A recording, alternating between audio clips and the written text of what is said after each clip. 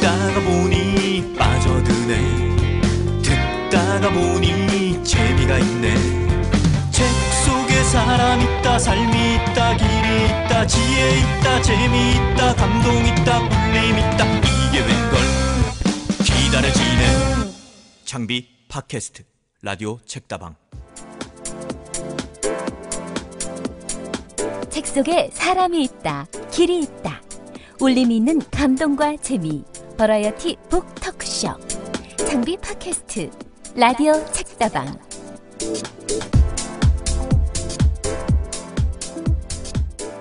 학교에서 제 연구실에 상담하러 오는 학생들, 특히 여학생들에게 한동안 권했던 책이 김연경 선생이 쓴 소설 사랑을 선택하는 특별한 기준하고 신의 20일 조선이 전 편집장이 쓴 소설 열정과 불안이었습니다. 주인공들이 정신분석을 통해서 자기 자신을 찾아 나가는 그런 과정을 그린 책들인데요. 우연이지만 김연경, 조선이 이 두 명의 작가는 강릉여고 출신의 친구인 걸로 알고 있습니다. 저에게 두 책을 빌려간 학생들 또는 그냥 가져간 학생들 한결같이 큰 도움을 받았다고 얘기했고요. 이 책을 권해서 거의 실패한 적이 없습니다. 여성들이 그만큼 비슷한 상처를 안고 사는 거 아닌가 뭐 그런 생각도 한 적이 있고요. 제대로 된 상담은 해주지 못하고 제가 책을 권한 이유 사실 갈수록 알 수 없는 게 여성이더라고요. 제가 아내와 딸의 마음도 잘 알지 못하고 그걸 인정하고 나니까 어설픈 조언을 하느니 제대로 쓴 책을 권하는 게 낫겠다 싶더라고요. 제가 학생들에게 권하던 그 소설을 쓴 작가 김연경 선생 최근 들어서는 소설보다는 뭐 사람 풍경, 천 개의 공감 이런 심, 인간 심리를 다룬 에세이를 주로 내놓고 있는데요. 이번에는 아예 남자를 위하여라는 제목으로 남성 심리를 주로 다룬 책을 쓰셨습니다. 오늘은 김연경 선생님을 모시고 왜 그렇게 사람의 마음에 관심을 갖게 됐는지 얘기를 들어보려고 하고요. 어, 소설에서 심리 에세이 쪽으로 방향을 돌린 이유는 뭘까? 뭐 제가 궁금해했던 그런 얘기도 들어보려고 합니다. 자, 그럼 오늘 책다방문을 열겠습니다.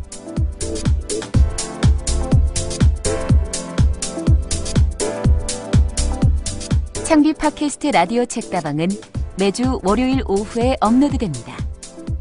라디오 책다방은 창비 홈페이지 www.changbi.com과 창비 문학 블로그 창문 radio.changbi.com에서 듣거나 다운받으실 수 있습니다. 스마트폰을 사용하시는 분들은 팟캐스트 어플리케이션 또는 팟빵 어플리케이션에서 라디오 책다방을 검색해서 들으실 수도 있습니다.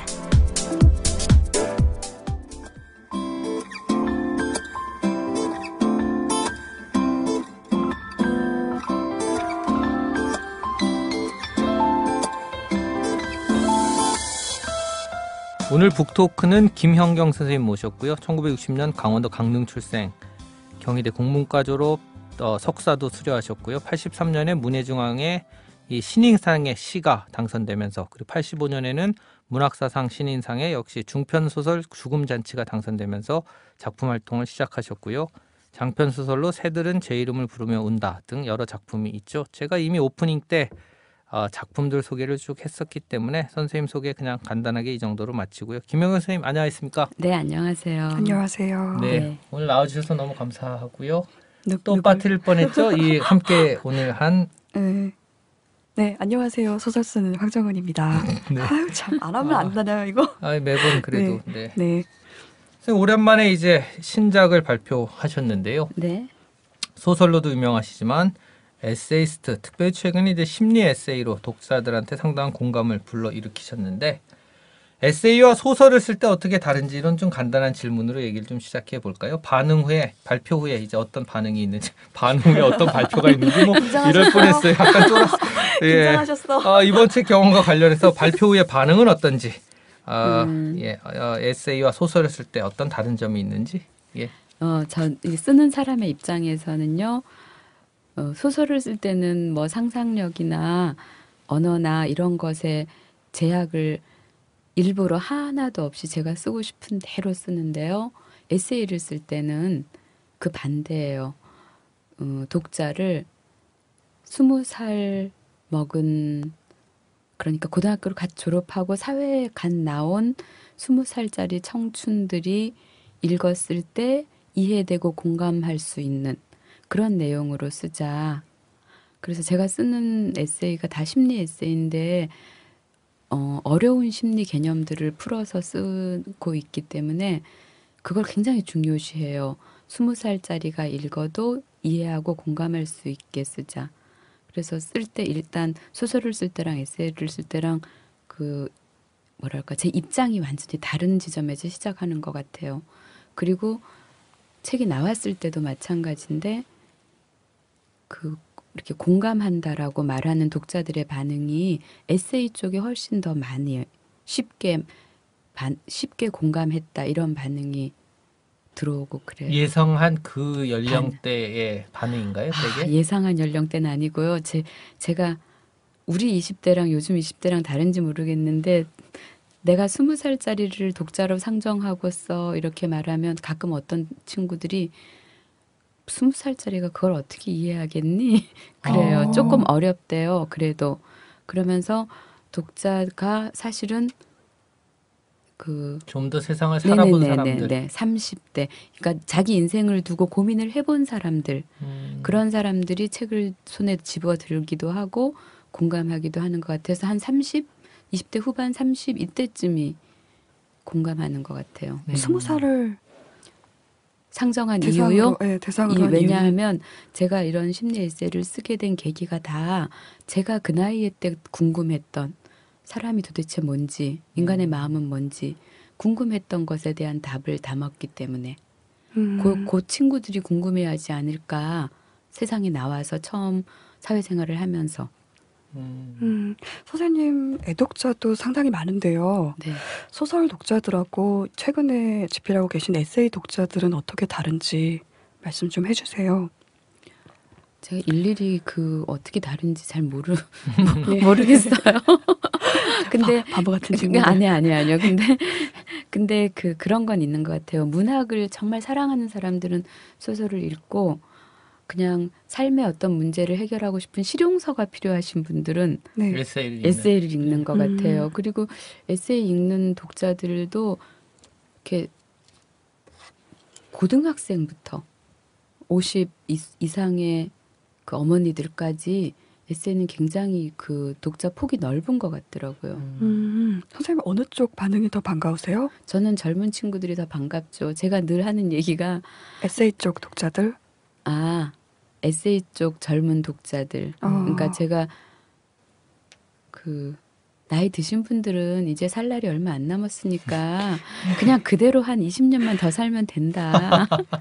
근데 젊은 친구들은 아직 인생을 시작하지 않았기 때문에 음. 그런 친구들은 이런 책을 읽으면 앞으로 긴 인생을 사는데 그래도 무슨 노자 노 이렇게 작은 노잣 돈처럼 음. 지침? 어, 무슨 그렇게 힘이 조금이라도 얻지 않을까 이런 생각을 하, 하곤 해요. 그게 아마 20대 정도의 독자를 상정하고 글을 쓰시는 이유랑도 이유죠. 같이 연결이 되는 거겠죠. 네네네. 예. 음, 이번 책 집필 과정에 대한 이야기 조금 네. 나눠볼까요? 선생님 이 책 구상한 계기 서문에 짧게 언급을 해주셨는데 어, 계기 좀 듣고 싶습니다. 또 집필하신 과정 이야기도 좀 부탁드릴게요. 네. 그 이 책은 사실은 여기저기서 제가 독자를 만나거나 강연을 하거나 그러면 제가 그동안 쓴 심리 에세이가 언제나 여성 입장에 치- 이렇게 치우쳐 있다고 느끼는 것 같더라고요. 그래서 남성 독자들이 왜 남자 심리에 대해서 쓸 생각은 안 하느냐라든가 뭐 그런 책은 없느냐 음. 라든가 이런 질문을 많이 받아요. 그리고 또 무슨 그런 종류의 청탁을 받기도 하고. 근데 쓰고 싶은 마음은 없었어요. 제 책 서문에도 밝혀놨지만 남성들은 심리의 시옷자도 듣기 싫어한다. 라고 음. 라는 생각이 제가 갖고 있는 편견이에요. 그리고 그리고 기본적으로 책을 잘 안 읽어요. 남자들 여자들 비교가 안 될 정도. 제가 볼때 적게 읽는 것 같고요. 예. 네네네. 그리고 자기 감정을 거의 그 콘크리트처럼 이렇게 처발라 놓고 억압해 놔서 말해줘도 이해도 못한다. 음. 이게 제 두 번째 생각이에요. 음, 그리고 나중에는 그 말해주면 듣기 싫어가지고 화낼지도 모른다. 뭐 이런 게 제 생각들이어서 그 남성 심리에 대해서 쓰고 싶은 마음이 없었는데, 근데 사실은 우리가 제가 중학교 고등학교를 여고를 나왔어요. 그리고 처음으로 스무 살에 대학에 가서 본 세상은 남성의 세상인 거예요. 음. 음, 우리 학 우리 학과에만 해도 90%가 남학생이고 다 글 쓰거나 글 쓰려는 남자들이었던 거잖아요. 또. 그렇죠. 그리고 네. 그다음에 사회에 나가서 사회생활을 할 때도 전 사원의 90%가 남자고 음. 어느 자리에 가도 어떤 행사장에 가도 모든 시스템은 남성 중심으로 돌아가는 그런 세상을 제가 20대, 30대, 40대 동안 경험하면서 남자는 왜 그럴까? 음. 이런 생각으로 하나하나 이해해 나- 나간 많은 얘기들이 있는 거예요. 그것들을 사실 쓰고도 싶은데 안 쓴 이유는 아까 말씀드린 그런 편견, 제가 가진 편견 때문이었는데 그래도 쓴 이유는 아까도 말했지만 저는 젊은 친구들을 위해서 글을 쓴다고 음. 또 젊은 남자들에게 일단 좀 참고 도서가 됐으면 하는 게 있었고 두 번째는 우리 사회의 그 20, 30대 남녀들의 그 남녀 갈등이 너무 심한데 그 갈등을 딱 열고 보면 이유가 뭔가 하면 너무 몰라요. 서로를 너무 모르는 음. 거예요. 여자는 남자에 대해서 환상이 너무 많고 음. 남자는 여자가 뭔 말을 하는지 이해를 못하고 드라마 때문인 것 같아요. 어떤 드라마가 환상을 환상을 많이 만들었죠. 네, 네. 예. 음. 그래서 아, 이 남녀가 잘 지내기 위해서라도 남자를 잘 이해해야겠구나 여자들이 특히 음. 환상을 깨야겠구나. 그래서 그런데 도움이 좀 될까 그런 생각도 하면서 쓰게 됐어요. 사실은 좀 쓰면서 겁이 많이 났고 왜냐하면 읽어보시면 알겠지만 남자들이 스스로 자기 입으로 말하지 않는 남자들의 음, 아프고 슬프고 찌질한 얘기들 숨기고 싶은 얘기들 예, 많이 그런 얘기들을. 네. 이렇게 파헤쳐서 적나라하게 써놨기 때문에 원고를 반쯤 쓰고 음. 창비 편집부에 보여줬어요. 이렇게 써도 이, 괜찮겠느냐? 수, 어, 이 수위에 대해서 어떻게 생각하느냐. 음. 뭐라고 대답하시던가요? 좋다 그랬죠. 괜찮다 당연히. 그러던데요. 네. 어, 어. 제가 걱정했던 것보다 굉장히 괜찮다 그래서 어. 어, 내가 무슨 허무 개그를 했나 음. 그런 생각이 들었어요. 그래도 책을 내고 나서도 진짜 걱정을 많이 했어요. 그래서 음. 다른 때와는 다르게 친구들한테 전화해서 독후가 막 물어봤어요. 이 친구들은 여자들도 있고 남자들도 남자들 있네. 여자 네. 남자 다 네. 있고요. 음. 근데 다들 괜찮다 그래서 지금 이제 좀 안심하고 있어요. 음. 선생님 이 책 속에 후배나 선배가 많이 언급되고요. 네. 많은 사례가 등장하거든요. 네. 근데 이게 어, 책을 읽은 당사자로부터 네. 피드백을 받지는 않으셨는지 음. 이거 내 얘기 아니야? 이러면서 그 옛날부터 저도 제가 심리 에세이에 주변 사람들 얘기를 조금조금씩 쓰긴 하는데 언제나 굉장히 많이 각색을 해요. 음. 선배라고 쓴 사람 얘기는 결코 선배가 아니고요. 아 그래요? 어. 후배거나 뭐 친구거나 뭐 이런 식으로 어. 그래서 어, 직업 같은 것도 살짝 바꾸고 다 완전 그러시는 예, 거죠? 늘 네. 각색을 하지요. 예. 그렇지만 그 상황이나 그렇지만 그 이야기들은 당사자가 아 이건 내 얘기구나라는 걸 음. 아는 에피소드들이 있잖아요. 네. 그런 거는 음, 가까운 사람은 이렇게 전화해서 물어봐요. 나 그 얘기 너 써도 돼? 어. 뭐 이렇게 물어보고 또 미- 물어보지 못하고 쓴 책 내용에 대해서는 책을 보내주고 음. 거기 읽어봤어? 어, 어땠어? 미안해. 뭐 음. 이렇게. 애교로 마무리하시는. 뭐 스쳐 지나간 관계는 예. 어차피 안 읽을 거라 상관없기도 예, 예, 예. 하잖아요. 네. 어, 예. 아닌가? 위험한 이야기를. 이거만 얘기인가요? 예. 음, 되게 공감 가는 얘기가 많았고요. 저는 어떻게 이렇게 남자들 속마음을 많이 아실까 생각을 했는데 어디서 이 얘기들을 어디 남자 친구들이 많으신 건가요? 그 저기 남자를 알 기회가 이 제- 질문이 되게 이상한 제가 것 아까 같아요. 말씀드렸잖아요. 제가 20대부터 네. 그 제가 산 세상이 어느 곳에 가도 남자가 90%인 조직이었다고요. 아하, 음. 그렇죠. 대학도 네. 그렇고 음. 사, 20대 직장 생활도 그렇고 문단의 어떤 자- 행사 자리에 가도 그렇고 음. 그래서 저는 오히려 이 남성 세상 네. 남, 남성의 관점에서 편성된 남성 사회의 질서를 이해하느라고 음. 에너지의 반은 쓴 것 같아요. 음. 선생님 네. 마저 하시죠. 선생님 정신분석과의 만남이 네. 저는 좀 궁금하더라고요. 이 선생님 어떤 계기로 정신분석 쪽에 관심을 가지게 되셨는지. 그 얘기는 진짜 너무 많이 했는데. 아 네. 그래요? 예. 한번 더 해주시죠. 아, 아 제가 네. 음, 그러니까 20대부터 그러니까 사람이 궁금해 인간이 도대체 인간의 마음은 무엇인가 이런 걸 궁금 많이 했다 그랬잖아요. 그때부터 이제 그런 책들을 꾸준히 읽기 시작했어요. 근데 그때는 나와 있는 책이 별로 없었어요. 개론서 한두 권 정도. 음. 근데 그 이후로도 그런 책이 나올 때마다 제가 계속 이렇게 사서 읽었어요.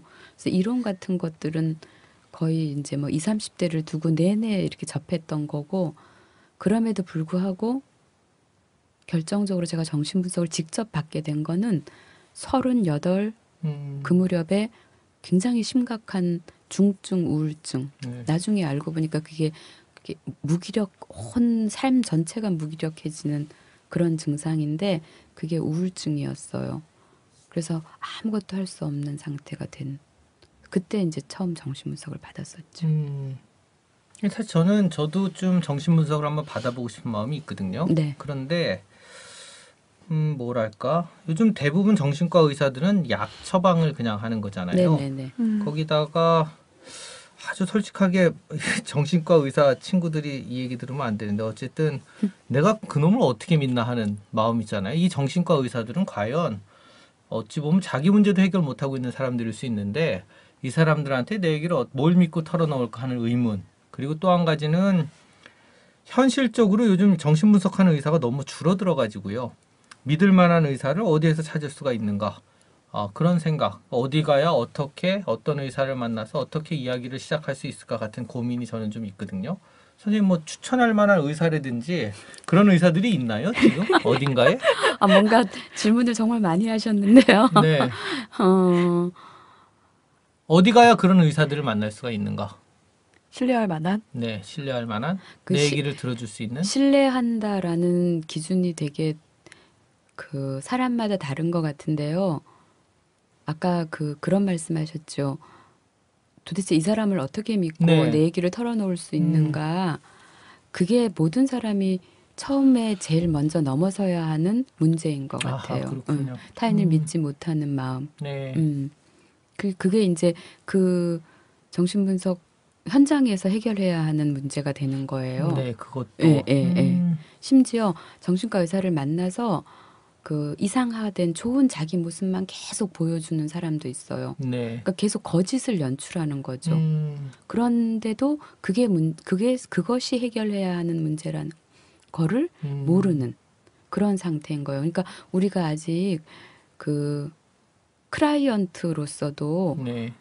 정신 분석을 접할 어떤 기본 상 그러니까 뭐랄까 사회적 어떤 상식 음. 그런 것들부터 만들어가야 할 그런 시기에 있는 게 아닌가 이런 생각이 저는 들어요. 음. 근데 사실 저는 비교적 좀 솔직한 편이고요. 네, 돈이 아까워서라도 네, 저는 사실 굉장히 첫 번째부터 굉장히 빨리 음, 제 얘기의 핵심에 들어갈 마음의 준비가 제가 돼 있는데요. 네, 그러니까 그럼에도 불구하고 우리 사회가 뭐 미국하고 비교를 해봤을 때 변호사든 의사든 뭐 판사 검사 전문직에 있는 사람들이 얼마만큼 이 의뢰인과의 어떤 정보 보호, 개인 신뢰 보호 이런 거에 대한 신뢰가 제가 좀 약하고요. 그러니까 음, 현실적으로도요. 음. 그 다음에 잘 하시는 정신과 의사분들은 나중에 다 책을 쓰잖아요. 음, 근데 아무리 신원이 많이 가려진다 하더라도 제 얘기가 어딘가에 나중에 언급되는 걸 보고 싶지 않은 그런 마음도 좀 있고요.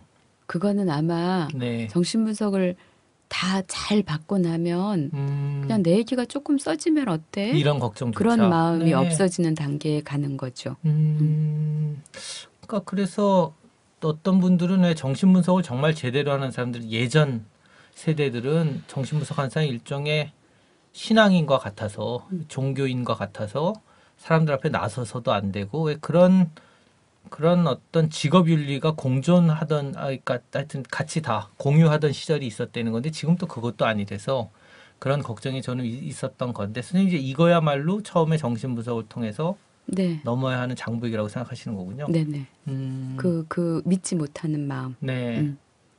아무나 찾아가면 되는 그냥. 그래도 뭐 좀 더 전문가를 잘 알아보고 찾아가시면 좋겠죠. 아, 구체적으로는 나중에 한번 저한테 소개를 시켜주든지. 아니요, 저는 잘 모릅니다. 네. 그냥 김연경 선생님한테 받아보시면 그건 더 안 됩니다. 아, 그런가요? 아, 저는 김영경 소설의 기존 애독자로서 약간의 아쉬움도 있거든요. 네. 최근에는 과거 작품들의 개정판들 책을 내시고 있을 뿐이지 왜 소설을 쓰지 않으실까? 남자를 위하여 같은 이번 책도 어쩌면 소설의 형식으로 담아내실 수도 있지 않았을까? 그런데 왜 어, 어떻게 보면 어, 이건 이제 이 오늘 아마 인터뷰 중에 거의 유일한 약간 공격적인 질문인 것 같아요. 네네. 공격적인 질문, 공격적인 질문인데 약한 어, 모습. 어, 약한 모습인데 일종의 좀 쉬운 쉬운 길을 택하신 게 아닌가 에세이라고 하는 음, 그러니까 소설보다 소설을 음. 통해서 막 음. 이게 예를 들면 사랑을 선택하는 특별한 기준 같은 책에는 네. 음. 어쩌면 이런 에세이에 담아낼 수 있는 얘기들을 소설 등장인물들 속에 잘 녹여내신 거잖아요. 그래서 네. 그걸 읽고 따라가다 보면 아 이걸 읽는 과정에서 자연스럽게 좀 치유가 일어나는 어떤 역할을 했다면 직설적인 화법으로 좀 돌아서신 거잖아요. 그게 좀 솔직히 독자로서는 좀 아쉬운 왜 이런 길을 선택하셨을까 뭐 이런 예. 그거는 그러니까 문학을 사랑하시는 입장에서 이렇게 하시는 질문인 것 같고요. 네. 저는 아까도 말씀드렸지만 그 스무 살짜리 시- 어, 인생을 시작하는 스무 살짜리들과 뭔가를 나누고 싶을 때 음. 소설같이 서사 많은 서사를 읽어야지만 메시지가 몇 개 건져지는 네. 그런 이야기보다는 짤막짤막한 서사를 하나 읽을 때마다 음. 에피소드를 하나 읽을 때마다 핵심적인 심리 개념을 하나씩 이해하게 되는 음. 그런 글쓰기로 더 쉽게 독자들과 이렇게 소통하고 싶은 그런 욕구가 있었어요. 그러니까 제가 좋은 소설을 써서 막 훌륭한 예술을 하고 싶다 이런 허위 의식이 없어진 것 같아요. 어느 시점에서. 그리고 내가 어, 글을 쓰면서 소명이라고 해야 되나?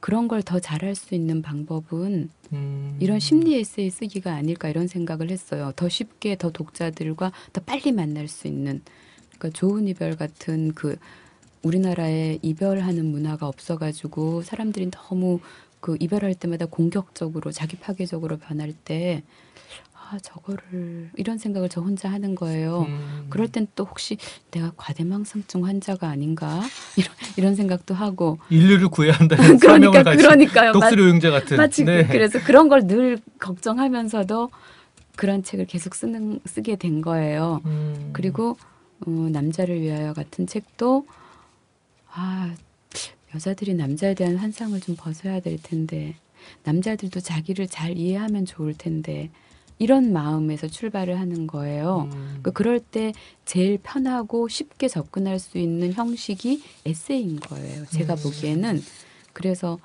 그냥 아 그래 뭐 훌륭한 예술 작품을 쓰는 것만이 내 삶의 목표가 아니지. 음. 아, 그런 걸 쓰기도 어렵지만요.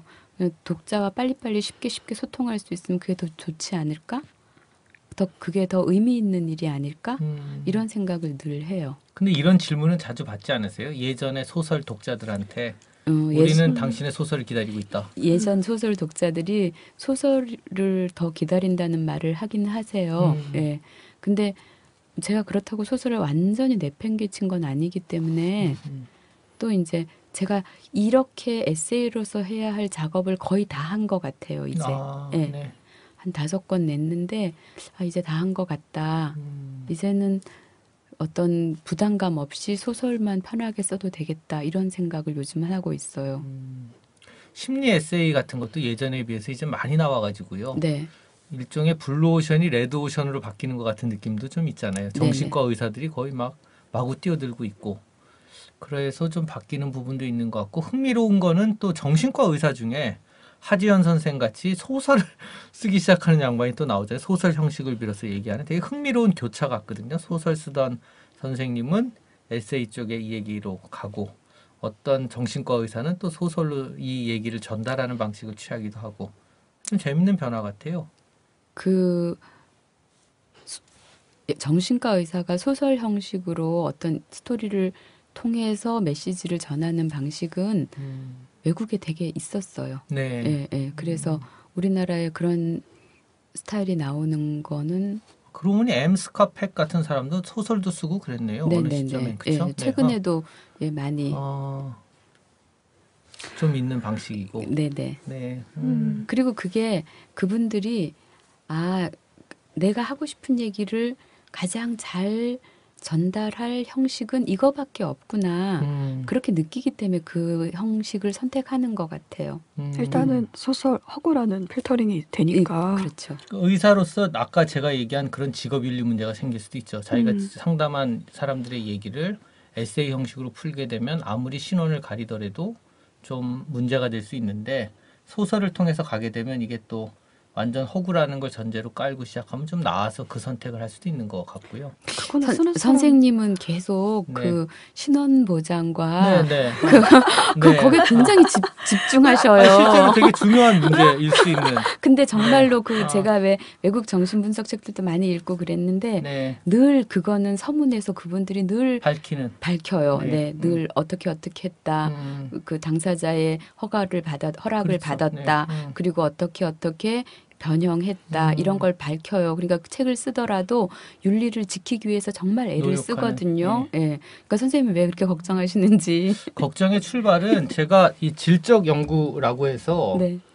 그 불멸의 신성 가족이라고 법조계 내부를 다룬 음. 책을 쓴 적이 있는데 23명을 인터뷰해서 이제 책을 냈었거든요. 근데 그때도 너무 중요한 과제가 법조계는 바닥이 좁기 때문에 신원이 드러나면 안 되는 거. 제가 음. 인터뷰한 판사와 검사들이 그 과제에 되게 오래 시달려 봐서 그런지 음. 이런 생각을 더 하게 되는 것 같아요. 우리나라가 특히 이 어떤 그 confidentiality라고 하나요? 그게 잘 보호가 안 되는 나라라고 하는 걸 제가 미국하고 너무 다르다는 걸 늘 느끼거든요.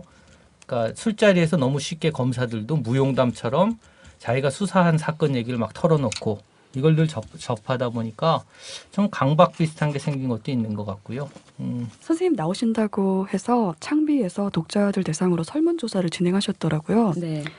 어, 제목이 무려 본격 괄호 사랑 괄호 닫고 싸움 유발 설문조사 남자는 왜 남자는 왜가 남자는 타이틀이군요. 왜 이런 네. 이런 타이틀로 도무지 알 수 없는 남자 베스트를 뽑는 이벤트였다고 하는데 베스트 세븐의 결과를 네. 민망하지만 제가 한번 읽어보도록 아, 하겠습니다. 1. 이게 순인 거죠. 1번이 제일 많이 나온 것인데 그런 거네요. 어. 1. 한 번 웃어줬더니 자기 좋아하는 줄 착각하는 남자 25%나 나왔더라고요 이게 다 제 얘기 같아요. 1번. 그래요? 아, 저는 이 항목 보고 모임 이랬는데 네. 두 번째 수천 번 얘기해도 양말 뒤집어 벗어놓는 남자 이게 20% 나왔고요. 세 번째 여친이랑 길 걸으면서 5만 여자를 다 스캔하는 남자 이게 19%. 어, 차마 제 얘기라고 얘기를 못 하겠어요. 네. 다 해당되나요? 지금 어, 세 번째까지? 번째까지. 거의, 예. 좋은 얘기 같아요. 네 어. 번째는 술만 마시면 구 여친, 옛날 여친이죠. 옛날 여자친구 드립하는 남자. 이게 14%. 다섯 번째가 아내가 먼저 승진했다고 속상해하는 남자. 8%. 여섯 번째 밥 먹으면서 한마디도 안 하는 아버지와 아들. 이게 다섯 번째랑 똑같은 비율로 8% 나왔고요. 공동 5위 되겠네요. 그리고 일곱 번째가 카메라 모으다가 이젠 자전거에 빠진 남자. 아하. 이게 5%가 나왔더라고요. 근데 실제로 이 남자를 위하여 책에 보면은 이 항목에 해당되는 사례 곳곳에서 만날 수 있고요. 그래서 저는 이거 이 질문을 받아보고서 선생님의 베스트 목록은 뭐였을지 되게 궁금하더라고요. 음. 초반에 남성 중심 사회, 남자들은 별- 왜 이러냐? 네, 20대, 음. 30대, 40대를 뚫고 오셨다 말씀하셨는데 이 책을 준비하는 동안에도 남자는 왜 그럴까라고 본인의 궁금증도 있었을 것 같은 거예요. 음. 그한 한두 가지 듣고 싶습니다. 그 이 책에 나와 있는 모든 것들이 20대, 30대, 40대 동안 제가 남자는 왜 그럴까 라고 했던 질문들에 대한 답이에요. 어, 그걸 이해한 것들에 대한 결론이죠. 근데 남자는 왜 그럴까 중에 그거 진짜 놀랬던 건 네. 웃기만 해도 자기를 좋아한다고 착각하는 거. 네, 그리고 이렇게- 심지어 심지어 막 따라와요. 추적추적. 어, 네? 진짜요? 진짜요. 나 왜 이런 경험이 없어? 아 저는 갑자기 25%나 나왔는데 나왜 갑자기? 제가 무슨 죄인이 되는 것 같아요. 죄인이. 아 아니 그. 이 베스트 세븐 목록이 선생님의 공감이 많이 되는 목록들인가요? 좀 세대 차이랄까 이런 거 느껴지지는 않으신가요 혹시? 아니요, 이거 거의 다 그대로 공감이 되는데요. 아, 그래요? 예, 예. 음. 음, 그리고 이- 이걸 이 목록을 보면서 제일 많이는 그그 우리 우리나라 남자들이 특히 남성 중심 사회에서 남아 선호 사상 아래서 양육 성장되기 때문에 갖게 되는 아주 특별한 나르시시즘이 있어요. 아, 음. 그게 바로 1번. 그게 같은 1번, 거군요. 1번, 아. 2번 같은 거예요. 아, 아, 어, 1번, 어. 2번. 나르시즘의 문제로군요. 양말 네. 뒤집어 벗어놓는 응, 것도. 그 그거는 아내가 당연히 빨아줘야 한다고 생각하는 네. 거예요. 음. 아내가 뒤집어서 빨아서 아하. 개 줘야 한다고 생각하는 거죠. 저는 저는 빨래를 제가 하기 때문에요. 여기 해당되는 게 진짜요? 세 가지인데요. 1번 한 번 웃어줬더니 자기 좋아하는 줄 착각하는 남자. 이거 약간 저 있고요. 3번 여친이랑 여친 아내랑 길 걸으면서 오만 여자 다 남자. 이거 약간 좀 이런 거 있어요. 그 다음에 7번 카메라 모으다가 이제는 자전거. 전 자전거는 아니지만 카메라 좋아하다 그 다음에 오디오에 빠진 남자 뭐 이런 건데요. 어, 그 집안 어, 망하는 지름길인데. 나머지는 해당 사항 없고 137번이 좀 문제인 음. 것 같고요. 많은 거죠 이런 사람들이. 네, 많은 거죠. 음. 예. 저는 아까 1번, 2번 말씀하셨는데요. 남아선호 사상의 폐해? 저는 여기에는 없지만 자기 배부르면 다 배부른 줄 아는 남자들. 이건 뭐예요? 이따금 겪었어요. 이건 무슨 난잘 무슨 그 소리 예를 모르겠어요. 식당에서도 밥을 자기 혼자 막 먹고 네. 고기 빨리 집어 먹잖아요. 고기나 아, 아. 아, 니면 무슨 음식 같은 거. 그러면 일단 자기 배부르면 네. 주변 사람들이 밥을 얼마나 먹었는지 그런 거 생각 안 하고 음. 아유 배부르다 그만 갑시다. 먹자 어. 갑시다 그만 먹자 아니면 더 주문하려 그러면 그걸 왜더 먹어 이러면서 음. 최근에는 일곱 명이 무려 밥을 먹었는데 네. 나중에 밥을 볶아 먹는 자리였거든요. 음. 저는 그것만 기다리면서 안 먹고 있었는데 어. 다 같이 나눠 먹으려고 3인분을 시켰더니 아이고 하나만 먹지 뭐 배부른데 제가 열이 제대로 받아서 그런 일이 있었거든요. 어. 그것도 해당되지 아, 않을까요? 그래서 먹었어요, 못 먹었어요? 어 제가 고집 부렸어요. 아, 되게 먹어야 한다. 잘하셨어요. 어. 먹어야죠. 음. 네, 그래서 고집 부렸어. 그게 그게 극단적 나르시시즘인데 음. 그 자기 그러니까 자기가 중심인 거예요 모든 상황에 그리고 세상이 자기를 중심으로 돌아간다고 음. 착각하는 거죠. 그래서 내가 배부르면 세상도 배부르다.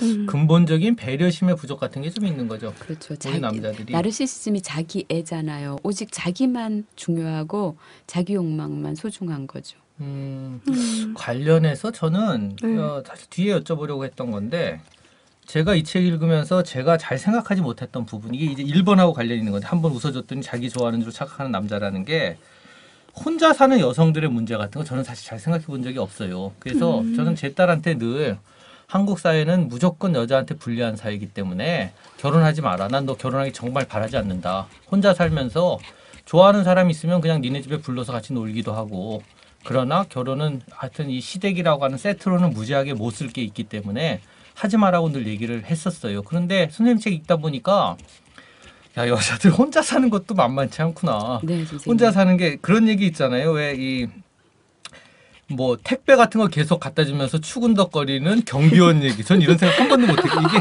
이런 게 있을 수 있다는 생각을 못했는데 그것도 그렇고 뭐 어떤 좀 한적한 동네로 이적을 했더니 시골 이장이 계속 찾아오면서 관심을 갖고 도와주다가 저녁이 되면은 집으로 돌아가지를 않더라. 뭐 이런 얘기는 아, 혼자 사는 여성들이 겪는 문제인데 남자로서는 제가 이런 문제가 있을 수 있다라는 걸 상상해 본 적이 없는. 그 제가 예. 그 시- 사람 풍경인가에 그런 표현을 썼는데 음. 혼자 여행을 하면 하다가 어디 이렇게 어, 벤치나 계단에 이렇게 잠깐 앉아서 쉬잖아요. 네. 그러면 10분도 지나지 않아 누군가가 와서 추, 추근덕거려요. 아, 진짜요? 그래서 제가 어. 책에다 어떻게 썼냐면 이 사람들은 혹시 혼자서 여행하는 여자를 음. 길가에 떨어진 과일쯤으로 생각하는 게 맞아. 어, 아닐까. 네, 그 표현 읽은 어. 기억이 나네요. 그 근데 음. 그 이거는 미국 심리책에서 본 통계인데요. 음. 혼자 사는 여성들이 범죄에 노출될 확률이 훨씬 높대요. 높고. 어. 그렇죠. 음, 그리고 저는, 그리고 또 그런 특히 이렇게 이- 이성과의 관계에서 성범죄에 노출될 확률도 굉장히 높다는 거예요. 음. 음. 음, 저는 다른 나라에서 제가 살아본 적이 없으므로 적어도 한국에서는 네. 자신의 여성성을 깨닫게 되는 방식이 상당히 난폭하지 않은가. 음. 좀 약간 폭력의 형태로 경험하게 되는 아, 경우가 내가 여성이라는 걸 자각하게 되는 네, 계기가 내가 예. 여자로구나 이거를 아주 음. 그 난폭하게 경험하게 되는 경우가 되게 많거든요. 네. 그 예를 들어 저는 이제 어 20대 초반부터 자취 생활을 오래 했으므로 혼자 살았던 경우가 되게 많았는데 그 단연간의 경험으로 주거를 선택할 때 반드시 있는 조건이 있어요. 음. 1층은 절대 안 된다. 아, 예. 1층은 절대 안 되는 음, 온갖 일을 남자들은 잘 그다음에. 쇠창살이 네. 있어야 되고 창살 있어야 음. 되고 1층이 아니면은 뭐 괜찮은데 최소한 2층 위에는 살아야 되고 1층 안 되는 걸로 늘 그런 불안과 어떤 그런 위협이 아니고 있군요. 실질적으로 겪는 일들이 있어요. 그러니까 음. 굉장히 약자구나라는 걸 깨달으면서 여성성을 인식해요. 맞아요. 음. 그래서 여자들끼리 모여서 얘기하면 남성의 폭력에 노출된 경험이 없는 사람이 없는 거예요. 아, 네 그런 것 같긴 음, 음. 하더라고 그게. 예. 지하철에서도 그게- 늘 어떤 예, 예. 그런 맞아. 노출이 밤에. 이렇게 골목을 걷는데도 이렇게 조그만 칼을 들고 와가지고 지갑을 내놓으라 그러는 음. 청소년들을 만나기도 하고 뭐 이렇게 남자들은 왜 그런가를 얘기해야 되는데 그 자칫 하면 오늘 이 남자를 위해가 아니라 이 여자를 위하여 책 얘기가 될 것 같아요. 예, 최근에 개콘의 이 두근두근이라고 하는 코너가 큰 인기를 끌고 있는데요. 그러니까 우정과 사랑 사이에 오락가락하는 그 음악이 쭉 나오면서 갑자기 둘이 표정 바뀌고 뭐 이런 건데 이 책에도 언급이 되죠. 이 남자와 여자는 정말 친구가 될 수 없나. 선생님 되게 재밌는 표현을 쓰신 게 불가능하다라고 하는 결론을 내리시면서 그게 진짜 불가능하기 때문이 아니라 선생님 취지는 사실 남자들이 그걸 불가능하다고 생각하기 때문에 결과적으로는 불가능한 거다라고 하는 묘한 결론을 내리고 네, 네. 계시거든요. 되게 저도 10대 후반, 20대 초반에 고민했던 음, 문제 같아요. 친구가 가능하냐 같은 어떤 남자들 입장에서는 불가능한 것 같아요. 제가 왜요? 보기에도 남자들이 이렇게 욕망이 움직이는 예쁜 여자랑 마주 앉아가지고 대화만 하고 있기엔 남자들이 생물학적으로 너무 고통스러울 것 같아요. 네 음, 남자들이 가진 문제가 있는 예, 거죠. 예. 그렇죠? 케이스 그- 그- 케이스 아닐까라는 그, 생각도 그리고 남자와 여자 남자가 여자를 친구로 여기 친구의 범주에 두는 이유는 언젠가 그녀가 애인이 될 가능성이 있을 때에만 거기다 친구의 범주에 두는 것 같아요. 애인이랑 기본적으로 언젠가는 잘 수 있다는 거죠. 그. 그렇죠. 음. 가능성이 있을 때만 친구로 두는 거죠. 음. 음. 그러니까 그녀가 결혼을 하면 그다음에 친구에서도 빼 빠지는 거죠. 빼낸 이 놀라운 진리를 어떻게 간파하셨어요? 그리고 남자와 여자가 친구가 될 수 있는 또 하나의 방법이 뭔가 하면 옛날에 연애를 했다가 음. 잘 헤어지면 네, 네. 그 다음에는 오래 가는 친구가 되는 경우가 있더라고요. 음. 그러니까 남자와 여자가 친구가 된다는 건 연, 잠정적으로 연애할 수 있는 상대거나 음. 예전에 연애를 했던 상대거나 이런 상대만이 남자 입장에서 네. 친구로 여겨지고 그 이외의 여자들은 친구가 안 되는 것 같아요. 음, 어떠세요, 저, 는 남자로서? 저는 근데 되게 좀 음, 여자 친구들이 좀 많은 편이고요. 음. 제가 음. 교회에서 늘 어려서 자랐기 때문에 어, 여자 친구들이 많은 편이고 사귀다 헤어진 옛날 애인 비슷한 친구들하고도 여전히 친구로 되게 잘 지내는 그쵸, 예. 친구들이 음. 있기도 하고요. 그 다음에 그게 저는 요즘 이런 생각 내가 기본적으로 어떤 야 뭐라고 해야 되나 섹스 어필하질 않구나 근본적으로 이게 성적인 강렬한 매력이 솔직하게 없다 대답해 보니 드릴 수가 없네. 없다 보니 이게 친구들하고 이게 친구가 막 되는구나 싶은 게 아, 어, 이 조국 교수님 보면요 조국 교수님 여자들한테 무척 조심을 하세요 늘 어, 여자들과의 관계를 음. 조심하는 게 좀 이렇게 몸을 살린다는 느낌 있잖아요 확 살리는 음. 왜냐하면 대학 때부터 네. 막 여성들이 돌진을 하는 거예요. 막 돌진. 그건 그분에게? 다 조국 교수님한테. 아. 그러니까 이 양반은 그때부터 늘 내가 살 길은 조심하는 수밖에 없다 가 된 거고요. 저는 저한테 돌진하는 저본 적이 없거든요. 한 번도. 그래서 그런지 그냥 편한 친구들이 좀 있는. 네. 음. 그러나 그래도 남녀 관계에는 묘한 약간의 핑크빛 같은 건 좀 있는 것 같아요. 늘. 그게 말씀하시는 거일 수도 있지만 그냥 잘 자제하고 넘어가지만 음, 약간의 핑크 같은 거는 아예 없을 수는 없다. 같은. 네. 그게 남성들이 항상 여성과의 관계에서 언, 언젠가는 그녀와 잘 수 있을 거라는 기대를 놓지 않는 네, 네. 그거인 것 같아요. 제 음. 생각에는. 저는 그러니까 여자 친구들이 많은 이유는 제가 냉정해서인 것 같아요. 얘는 나랑 자고 싶은 마음이 조금도 없다는 걸 제가 알고 네. 늘 알아서 조심하다 보니까 그래서 그냥 관계가 오래 유지되는. 그렇죠. 그냥 plain한 친구, 네. 그러니까 대학을 대학 4년을 같이 다니고 이런 친구들도 친구들은 저도 많이 있지요. 음, 근데 그거 말고 음, 그러니까 남자 쪽에서 흑심을 품고 있, 있는데 그냥 친구로만 지낼 수 있느냐. 그러니까 저 상대에게 욕망을 느끼는데 네. 그런데 그 그녀는 욕망에 응해줄 마음이 없는데 그런데 그 관계가 친구가 되느냐 아, 그거는 불가능하다는 거죠. 음, 그럴 가능성이 없어지면 흥미가 쭉 떨어지면서 그렇죠, 남자들은 그렇죠. 다른 어떤 다른 대상을, 대상을 찾아 떠나죠. 예. 거죠. 아 그런 면이 있죠. 네, 음. 그런 면이 있는. 음. 선생님 오늘 방송 오시면서 네. 두식쌤께서 나이 먹을수록 여자 잘 모르겠다 이런 말씀하셨거든요. 네. 근데 한편으론 저도 나이를 먹을수록 남자를 잘 모르겠다 이런 생각을 할 때가 요즘 아 종종 옛날에 있어요. 뭐 알았나요? 아, 그래야 아, 돼. 여전히 모르는 저는 것으로 저는 한때는 바깥에서 아, 너무 비웃고 계시는데 그러니까 저는 저도- 한때는 저도 제가 연애 경험이 여자를 좀 안다고 생각을 한 적이 있었는데 어. 요즘 갈수록 모르겠다는 쪽으로 가는 어, 거고요. 네. 황정원 선생은. 저도 연애 경험이 있습니다. 좀 안다고 생각한 적이 있었던? 그건 아니지만 네.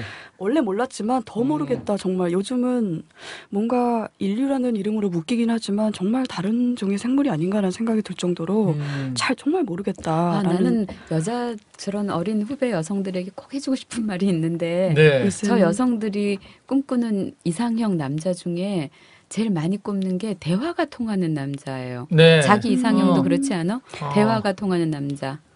음 그런 거 그래, 같네요. 그래서 내가 이제 여성들이 이상형이 대화는 대화가 통하는 남자라고 말할 때마다 제가 이렇게 말해요. 음. 남자들은 말을 할 줄 몰라. 네. 자기를 표현하는 언어도 갖고 있지 않아. 원래 안 되는 거야. 심지어 그쵸? 자기 감정이 뭔지도 몰라. 음. 어. 그리고 남자의 이상형은 뭔지 알아?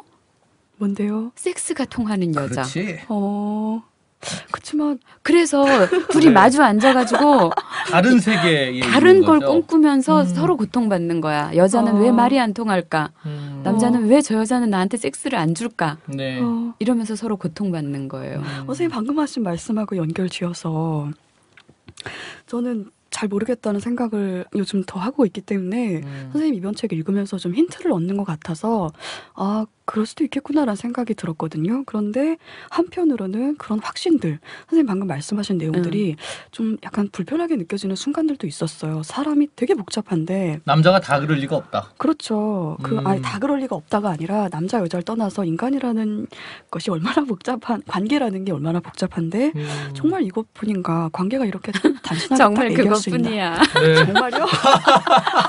어, 이 어떻게 답이. 어, 정말 그것뿐이다. 예. 마. 아 정말. 아무것도 기대하지 않아야 되는 거죠.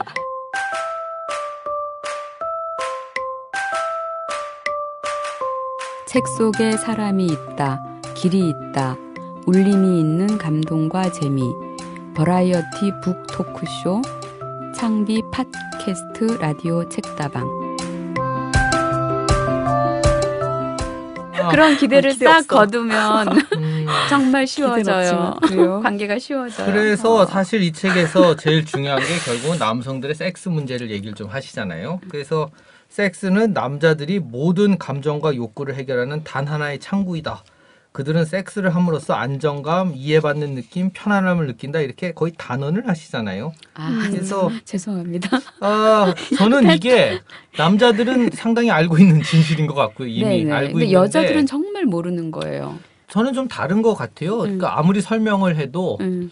뭐라고 할까요? 만족을 얻는 구조가 좀 다르다고 해야 되나? 그러니까 남자들이 갖는 이 섹스 직전에 그 내가 이거 한 번만 할 수 있으면 당장 죽어도 좋다라고 하는 그 이상한 상태 긴장감. 있잖아요. 예. 긴장과 거의 인생을 걸어도 되고 내가 이 한 번이면 죽어도 좋다라고 저, 하는 이 저, 저. 너무 많은 느낌을 이야기 듣고 있어 지금. 그러니까 아니 이걸 놀랍죠, 정은 씨. 이거를 아닙니다. 아무리 얘기를 해도 되게 두 가지 반응인 것 같아요. 남자가 그럴 리가 없다. 그 다음에 또 한 가지 는 뭐냐면 저한테 아니. 아니 설마 김두식 선생님도 그러세요? 같은 질문을 받으면 제가 무척 당황해서 아니 나는 저는 뭐 꼭 그런 건 아니지만 뭐 꼭 아니라고 하기도 뭐하지만 어쨌든 이렇게 넘어갈 수밖에 없는데 이 구조를 설명하는 게 정말 어려운 것 같아요. 그래서 저는 심지어는 어떤 제가 어, 친하게 지내는 어떤 후배한테는 막 남편과의 어떤 문제를 계속 얘기를 해요. 뭔가 남편과 이런 문제가 있고 대화가 저런 안 문제가 뭐 통한다고? 어쩌고 저쩌고 얘기하면 제가 그냥 어떤 때 굉장히 친한 후배라 쉽게 한번 이런 얘기를 던져본 거예요. 남편하고 밤에 그런 거는 잘 되냐? 그랬더니 아 그건 뭐 애기 키우는데 우리한테는 그건 중요한 문제가 어쩌고저쩌고 얘기를 계속하는 게 제가 나 진짜 이상한 얘기 같겠지만 아 그냥 해달라는 때 그냥 다 해줘라 그러면 다 된다 이렇게 얘기하면 왜 저를 네가 그런 말을 할 줄 몰랐다는 표정으로 저렇게 바라봐요. 그런데 좀 있다가 와서 고맙다고 얘기하는 친구들이 있는 의외로 음, 음, 단순하게 음. 새벽에 깨워서 어, 애들 다 잠든 다음에 어, 이거 이 19금 아니에요 완전 이거 한번 그냥 어, 불쌍히 여기고 제가 이제 긍휼히 여기라는 얘기를 하거든요. 남자를 좀 긍휼히 여겨봐라. 그래서 그냥 한번 한번 해줘봐라. 그냥 이렇게 얘기하면 오래 오래-. 오래 산 부부들인데도 네. 그러니까 문제가 해결이 되더래. 그냥 그러니까 문제가 해결이 제가 되더라는 진짜 얘기를 이해할 수 없는 건 네. 결혼해서 사는 여성들이 남자의 욕망을 그렇게 모른다는 그렇게 거예요. 몰라요. 예. 정말 그렇게 모르는. 예. 진짜 놀랬어요. 음. 그리고 음. 계속해서 대화가 안 통한다 그러는 거예요. 그리고 남자가 왜 그러는지 모르겠다고 뭐, 얘기하고 음, 음. 남편이 괜히 화를 낸다는 거예요. 계속. 그러니까 괜히에 들어있는 되게 중요한 요소를 여자가 죽어도 모르는 근데 게 그게 음. 특별히 어린 자녀를 키우는 집들 있잖아요. 애들 뭐 딸들만 둘 있고 어린 집 부인들이 남편이 왜 그런지 모르겠. 남편이 왜 괜히 짜증을 내고 화를 내고 뭐 나는 결혼을 왜 했는지 몰라 이런 얘기 하면서 그런- 밖으로 빙빙 돌고 이런 얘기를 계속하면 제가 그러니까 남성들도 잘못하는 게 그냥 아내한테 솔직하게 내가 원하는 건 섹스다 이렇게 말을 하면 되잖아요. 그런 그런 얘기를 해도 해도 부인들이 못 알아듣는다는 거. 그런 얘기를 해도 못 알아듣고 뒤로 돌아가서 또 물어본다는 거. 당신 왜 그런지 모르겠다. 그래서 그냥 제가 이제 정말 나를 신뢰하는 마음으로 한 번만 당신 해봐라. 새벽에 그냥 남편을 깨워봐라 한번. 그래서 우리 그냥 한 번 하자고 하면. 제가 제가 아는 어떤 후배 중에는 놀랍게 뭐 주말에 남편이 이것도 안 해주고 저것도 안 해주고 집안일도 안 해주고 혼자 무슨 짓을 혼자 텔레비전만 보고 막 이런 얘기를 하다가 제 얘기 듣고 정말 새벽에 깨워 보니까 주말에 갑자기 집안일을 모든 걸 다 하지요. 네, 집안일을 하게 그럼요. 되는 거예요. 음. 그게 그래서 저는 근데 나는 여자들이 왜 저걸 모르는지 진짜 맞아요. 모르겠어요. 네. 저는 지금 두분 음. 말씀하시는 내용 듣고 보니까 음. 집에 가훈 있잖아요. 음. 가훈 액자로 만들어서 붙이는 거. 네. 그 하면 된다가 사실은 그게 맞는 거라고. 이거 뭐예요? 네? 어, 일치월장하시네요. 아, 네, 빨리 저런 배우네요. 빨리 하면 된다 그 뜻이다. 충철어랑 아. 청출어랑. 저 그렇게 순진하지 않습니다. 네. 아니, 근데 사실 되게 중요한 진리인데 네, 그럼요. 특별히 젊은 부부들, 아기 키우는 부부들 저는 이런 문제 많이 보는 것 같아요. 음. 그냥 남자는 정말 선생님 말씀대로 네가 생각하는 것보다 100배쯤 단순한 존재다. 정말 네, 네, 미안하다. 진짜예요. 음. 정말 미안한데 그렇게 단순하다는 얘기를 해주고 싶은데 네. 잘 얘기를 못하던 거를 음. 네 선생님께서 잘 짚으시고 어떻게 하셨어요 이 놀라운 진리를? 저 30년 동안 남성 사회에서 살았다니까요. 알겠어요. 아, 네. 알겠다. 이참알수 없는 어떻게 이 마음을 알게 됐을까 놀라운 건데 그러나 선생님 다음 챕터에서는 또 이렇게 적으셨어요. 남자는 오래도록 자기가 진짜 원하는 게 무엇인지 모르는 상태에서 지낸다. 아무리 섹스를 많이 해도 네. 행위 뒤의 허탈감을 지울 수가 없고 네. 아무리 많은 여자를 만나도 돌아서면 적막함에 늪에 빠진다. 자기가 진짜 원하는 것이 육체적 긴장의 완화 수단으로서의 섹스가 아니라는 사실을 깨닫기까지 남자는 헛된 시도를 되풀이한다. 대부분의 남성 대부분은 남성 호르몬이 현저히 줄어들어서 더 이상 몸의 충동에 마음이 휘둘리지 않는 시기가 와야만 그 사실을 깨닫는다. 자기가 평생 찾아온 것이 휘몰아치는 섹스가 아니라 편안한 친밀감이었음을 짐작하게 되는 것이다. 이거는 약간 앞에 취지. 남자가 원하는 것은 오직 그거다랑은 좀 다른 취지의 말씀을 하시는 거잖아요. 그렇죠. 어, 어떤 때 또 이런 존재라는 걸 느끼시나요? 남자가 원하는 것은 휘몰아치는 섹스가 아니라 그 친밀감이다 하는 어떤? 그게 20 사실은 모든 인간이 기본적으로 원하는 게 친밀감인 거예요. 그렇죠. 네, 네. 그게 음. 어, 어머니와 최초로 행복했던 공생 관계에 대한 추억. 네. 그래서 어딘가에 정말 나와 한 마음 한 몸인 존재가 있어가지고 자아 경계가 무너진 어떤 상태를 그렇죠. 그런 거죠. 네. 그런 아주 완전한 친밀감을 머릿속에 꿈꾸는 거예요. 음. 예, 누구와도 그걸 이룰 수 없는데도 불구하고. 네. 그런데 20대 때는 몸이 에너지가 너무 그 성 호르몬 때문에 너무 몸이 충동질을 당하니까 음. 그 그것보다 더 몸의 긴장을 해결하는 게 더 급한 거고 그게 더 우선인 것처럼 음. 느껴지는 거죠. 그러다가 호르몬이 줄어들면 그다음에 옛날에 그 꿈꾸던 그 친밀감 그게 원래 원하던 건 워- 친밀감이다 하는. 그렇죠, 그렇죠. 애초에 우리 우리 무의식에 깊이 새겨져 있는 게 그 그러니까 인간이 정서가 형성되는 기본적으로 정신 구조가 형성되는 게 생후 3년 음. 그리고 6년 음. 요, 요 시기라고 하는데 그때 아기들이 엄마와 정말 행복하게 보낸 음. 내가 꿈꾸기만 해도 엄마가 모든 걸 해결해 주는 그 완전한 충만한 만족감 네. 그런 걸 살면서 계속 잃어가기 때문에 계속 그런 걸 꿈꾼다는 거예요. 음. 그래서 모든 이들이 마음속에 사랑하는 사람과 한 마음 한 몸이 되고 싶다는 욕망이 음. 그 근원이 거기에 있다고 분석을 하거든요. 음, 음. 네. 어머니와의 관계. 네네네.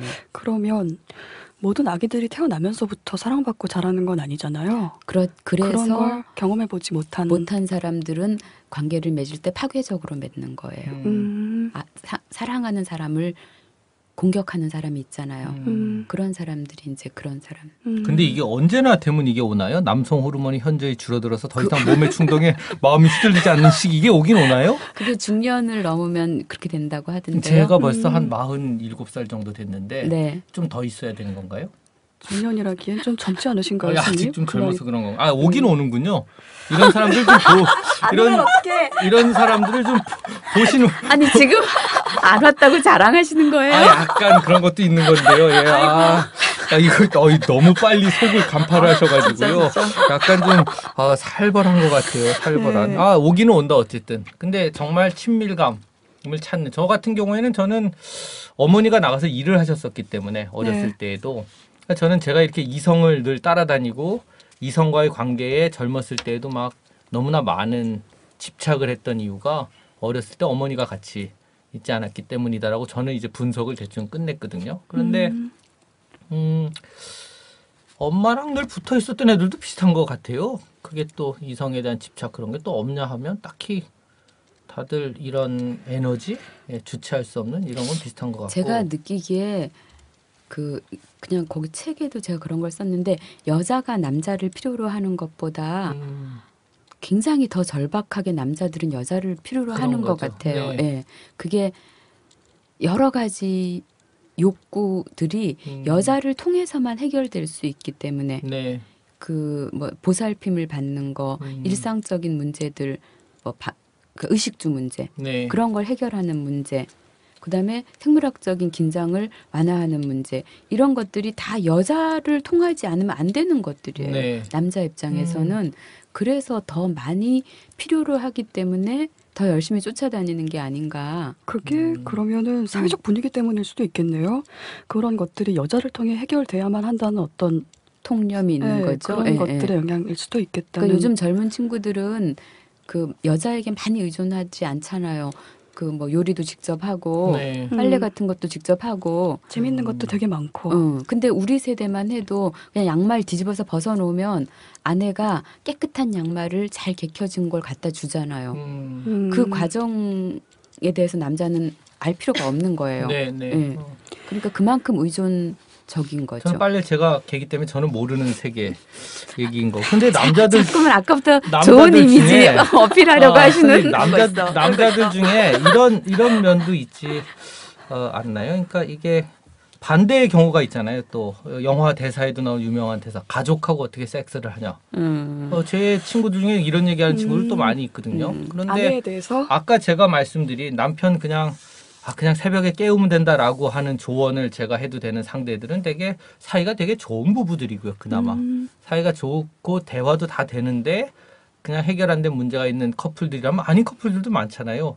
어, 가족과 어떻게 섹스를 하냐 뭐 이런 어, 이런 경우는 어떻게 설명이 될 수 있나요? 가족과 어떻게 섹스를 하냐는 그 남자들이 늘 하는 변명은요. 음. 저는 그냥 그 밖에 나가서 새로운 성적 대상을 찾고 싶어하는 욕망. 네. 그거는 모든 생물들이 가지고 있는 기본적인 욕구잖아요. 네. 어, 그 욕망을 그냥 그 미화하기 위해서 위하고 그냥 잘 포장한. 예, 포장하기 위해서 하는 그냥 그냥 언어일 뿐이라고 생각을 음. 해요. 그건 별 아무 의미도 없는.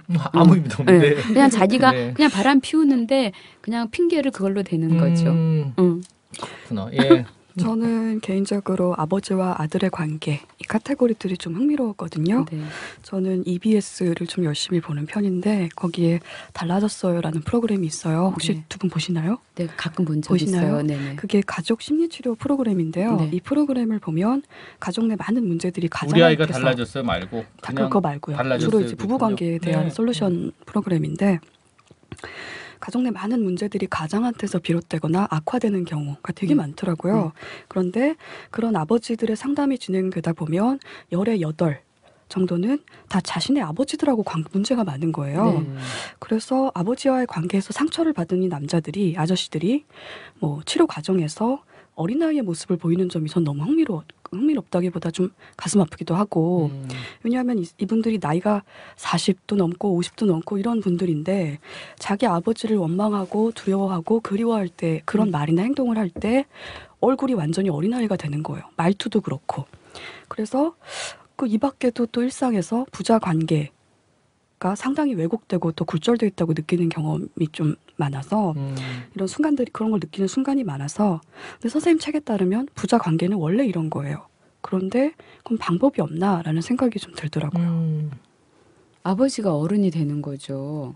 거기 상처 입어서 이렇게 울고 막 아이 얼굴이 되는 그 아버지들은 아버지가 아니었던 거예요. 그때까지 음. 아이였던 거예요. 네.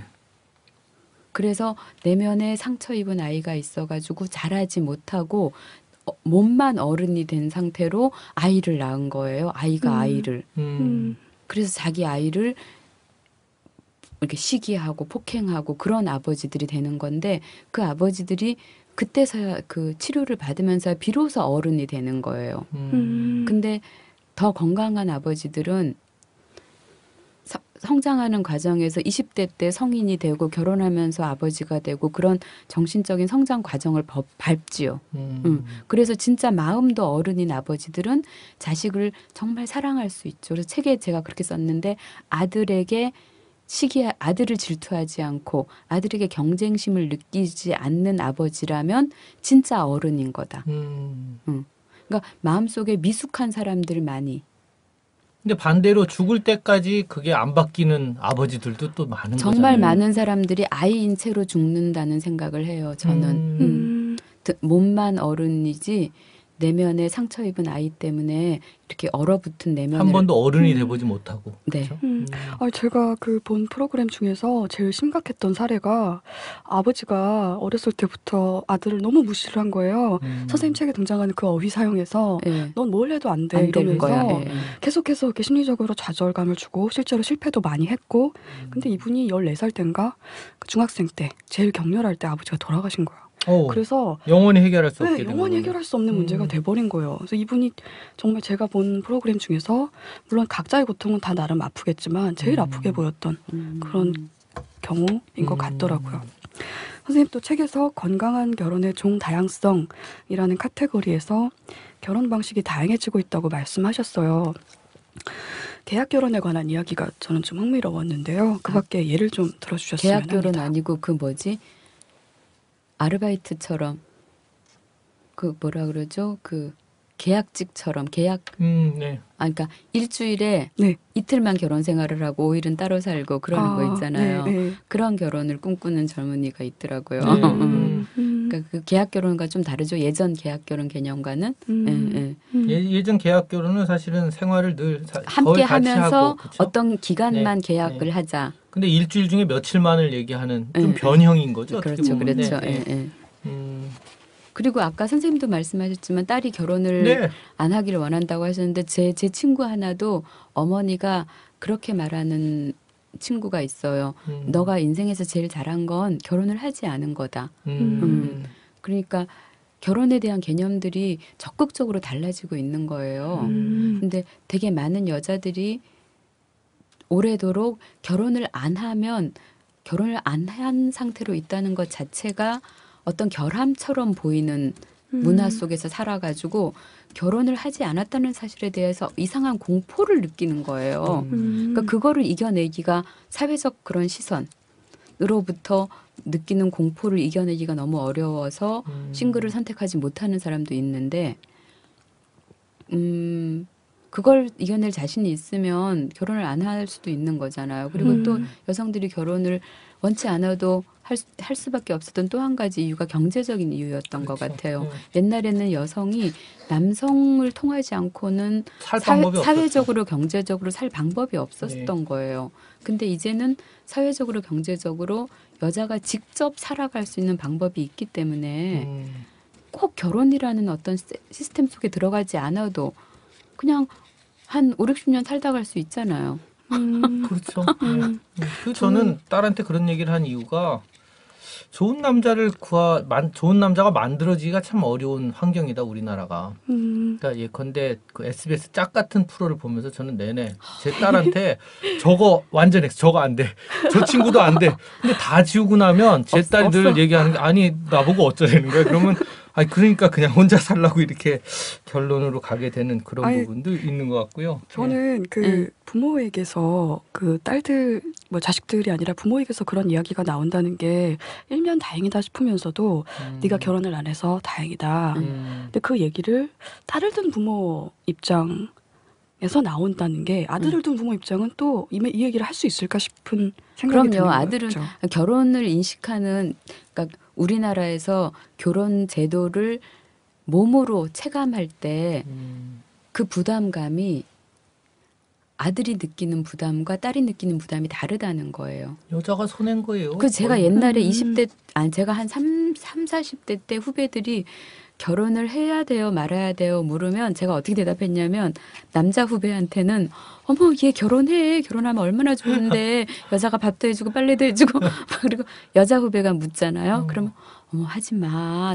너, 어, 너 가서 맨날 밥하고 빨래하고 살래? 맞아요. 어. 이런- 왼, 왼쪽과 오른쪽에 천사 엄마 같은 그런 어. 이미지. 그게 뭐 생각이- 남자와 여자가 결혼 제도 안으로 딱 들어가면 몸으로 체감하는 현실이 그렇게 다른 거예요. 음. 요즘 애들은 어쩔지 모르지만 우리 세대만 해도 음. 음. 그 이런 남자들의 문제를 어떻게 해결할 건가 하는 게 있는데 이 남자들이 가진 근원적인 고독의 문제가 있잖아요. 선생님 남자들은 근본적으로 감성적 요소가 아예 없기 때문에 여성의 도움이 필요하다 하는 이 로즈 킹마 박사의 진단하고 네. 남자들의 문제는 남자들이 해결해야 된다. 남성의 도움이 필요하다. 이게 약간 상반된 입장이잖아요. 네. 여성의 도움 없이는 남자는 절대 안 된다. 남성 하나라면 다른 하나는 남성에게는 남성들끼리의 모임 어떤 그런 게 필요하다라고 하는 좀 상반된 입장을 소개를 하시는데요. 아 이거 어떻게 이해를 해야 되나요? 이, 이 저는 둘 다 필요하다고 둘 다. 생각해요. 예, 네. 예. 음, 그러니까 오직 여자만으로 남성 세계가 만들어질 수도 없고요. 여자의 음. 도움만 있다고 해서 남성이 한 인격체로서 혹은 한 사회 구성원으로서 완전해질 수 없고요. 음, 그리고 남성 세계만으로 치우친다면 이쪽 여성 그 내면의 여성성 혹은 여성적 감수성이 결여되기 때문에 그가 또 차- 완전히 창의적인 삶을 사는데도 불가능하고 이렇다고 생각을 하거든요. 그래서 이 이 두 가지 의견을 소개한 이유가 두 요소가 다 필요하다. 음, 그러니까 남성에게도 남성적, 여성적 요소가 다 필요하듯이 음, 여성도 마찬가지인 것 같아요. 여성도 여성적 요소뿐만이 아니라 남성적 요소도 좀 받아들여서 사람마다 또 그 필요로 하는 정도가 좀 다를 다르죠. 예, 뭐, 사람마다 직업마다 또 네. 다르겠죠. 예. 음, 근데 어쨌든 한 인간이 두 가지 요소를 다 가지고 있는 게 훨씬 효율적인 삶을 살 수 있다는 느낌이 음. 드는 거예요. 네 오늘은 음. 뒤이어서 이제 우리가 좀 재밌는 코너를 준비를 했지. 빵빠라빵 하면서 가야 되는 이 아, 어, 네, 이거 어떻게 해야 되지? 우리가 직접 이런저런 질문들을 이제 주변에 좀 모아봐서요. 저희가 네. 하는 질문이 아니라 좀 음. 현실적인 질문들을 같이 좀 듣고 선생님이 이제 좀 답을 주셔야 되는 이거 거의 일문일답 코너 같은 거죠. 이 여러 사람들의 질문을 네. 선생님이 이제 답해 주셔야 되는 코너인데요. 외칠까요? 코너 속 코너 하나 둘 셋 상담해 주세요 이렇게 해야 되는군요. 아, 제가 네. 네. 얼었어요. 네, 아 이런 거 시키면 황정원 작가는 안 해요. 잘. 예. 저는 시킨 대로 그냥 다 하고요. 예. 자, 그럼 우리 첫 번째 질문부터 한번 들어볼까요? 안녕하세요. 남자 1호 놀고 싶은 애기 아빠입니다. 전 노는 걸, 예, 노는 걸 정말 좋아하는 사람입니다. 회사에서도 뭐 야유회나 이런 행사 때마다 앞에 나서서 뭔가 하는 걸 좋아하고요. 사람들하고 함께 시간을 보내는 걸 참 좋아합니다. 친구들하고도 그렇고요.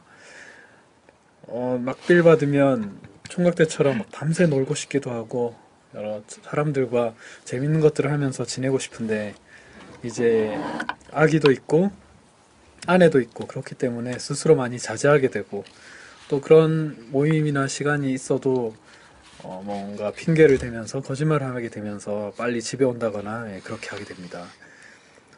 가족들한테 미안하기도 하고 어, 또 어떤 책임감 때문에 어, 스스로를 이렇게 통제 예, 하고 이렇게 지내고 있는 것 같은데 저도 자유와 어떤 탈출구가 필요합니다.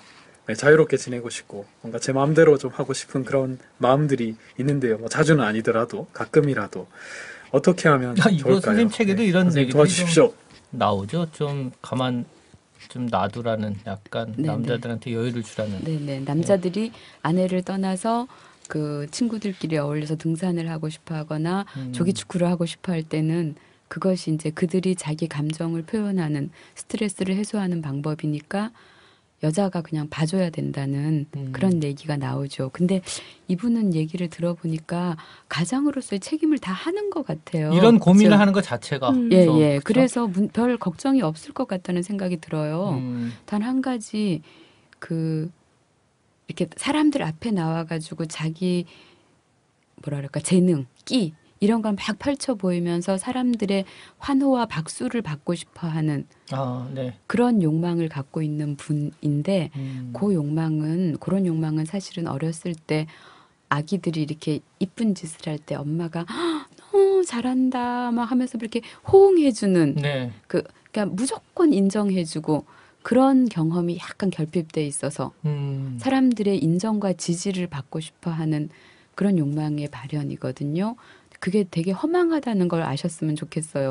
남들 앞에서 그렇게 뭔가 반전인데. 어, 나- 남들 앞에서 이렇게 어리광대 짓을 해서 남들의 박수를 받는 게내 어, 인생에 뭐가 그렇게 중요해요? 네. 음. 내 아내와 가족이 훨씬 중요하지. 근데 선생님 아, 저는 머리로는 그걸 아는데도 음. 그참 어려, 어려운 것 같아요. 머리로는 아 이게 참 더덥구나 의미 없구나 하는 걸 알면서도 따지고 보면 책을 쓰는 거 강연 다니고 하는 저의 모든 추동력은 이거지 박수 받고 싶은 마음 사랑받고. 싶은 거. 참잘 안 음. 바뀌는 그런 거는. 음. 근데 네. 그게 무의식에 있는 욕망이어서 잘 안 바뀌는데 음, 책을 쓰거나 강연을 다니는 건 굉장히 생산적인 일이어서 좋은 쪽이지만 음. 남들 앞에서 어릿광대 짓을 하고 아, 이 야유회나 송년회 이런 거요. 네네네 그런 건 아. 굉장히 허무하게 에너지를 낭비하는 일이죠. 음, 음. 그렇겠네요. 음. 송년회 때 그런 어떤 방금 어리광대 짓이라고 말씀하셨는데 그런 거 말고도 뭐 예를 들어 다양하게 적용해 볼 수 있는 얘기인 것 같기도 해요. 저는 뭐 책을 쓰고 있는데 그 책에 대한 반응이나 이런 거 가끔 접하면 보면 음.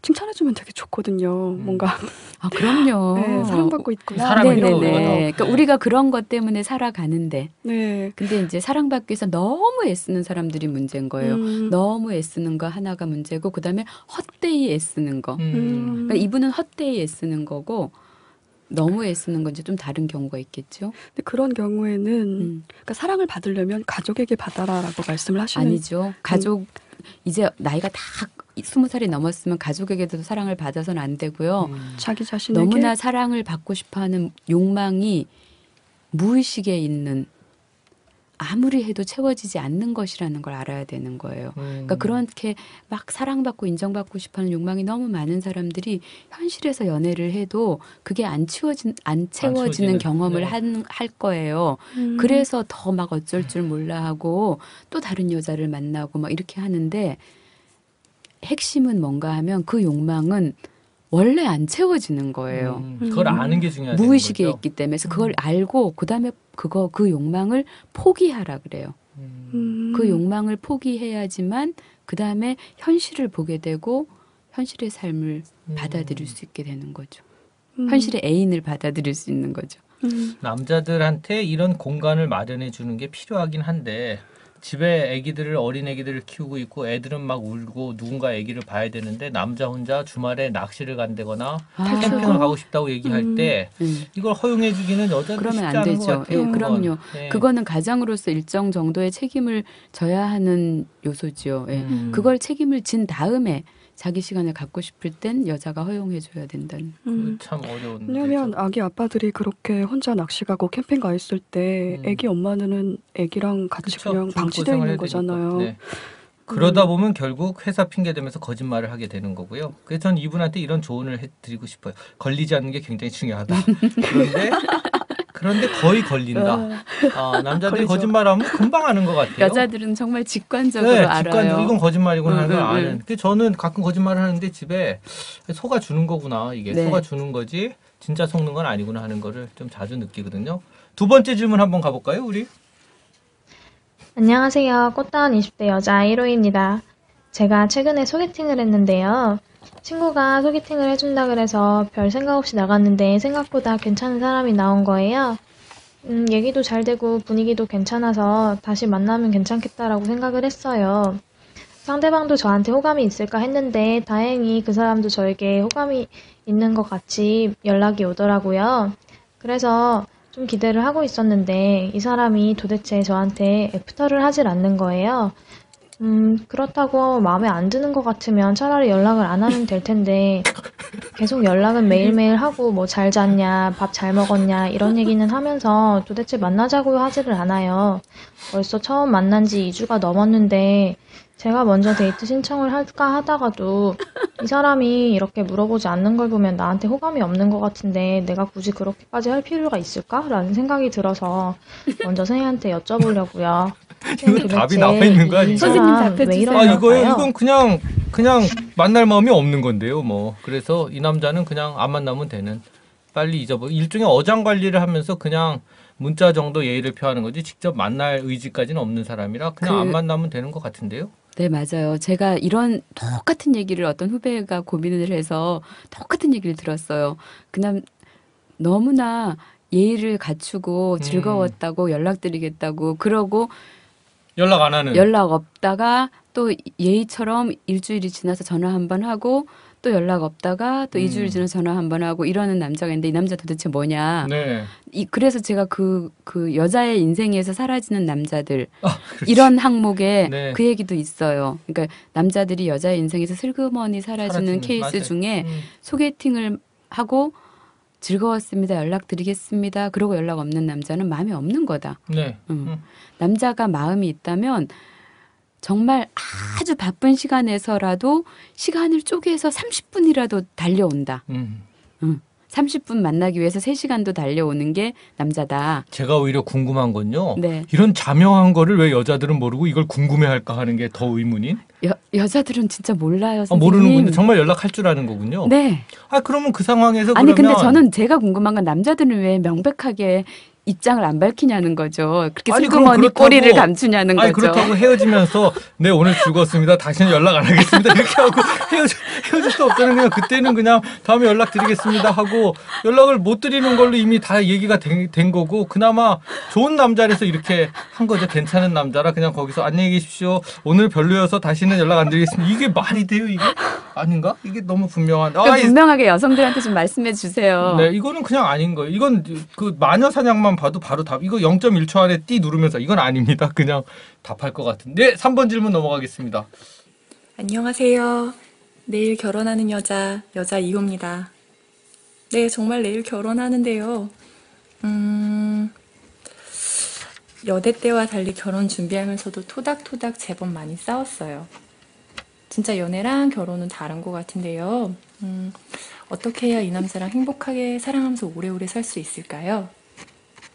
교과서에서 나오듯이 양보하고 참고 믿으며 살라는 그런 말 말고, 음, 보다 현실적이고 구체적이면서 생활 속에서 바로바로 실천할 수 있는 그런 실질적인 팁을 받고. 푸셨죠? 아니 저도 지금 그 얘기를 하려다가 이게 또 메시지가 잘못 전달이 되고 있는 선생님 뭐냐 하면 남자는 원래 그런 존재니까 좀 해달라는 때 좀 해줘 이렇게 대답을 하면 너무 또 이게 남자들한테도 문제 여자들한테도 마치 여자들한테 그 결혼하면 그럴 의무가 있는 것 같이 또 읽혀질 수가 있잖아요 참 답하기 어렵지만은 약간 뭐라고 얘기할지 모르겠 아까 그런 대답했으니까 예, 선생님 어떠세요? 네. 아, 그 선생님 말씀하시는 거 굉장히 중요한 요소고요. 네.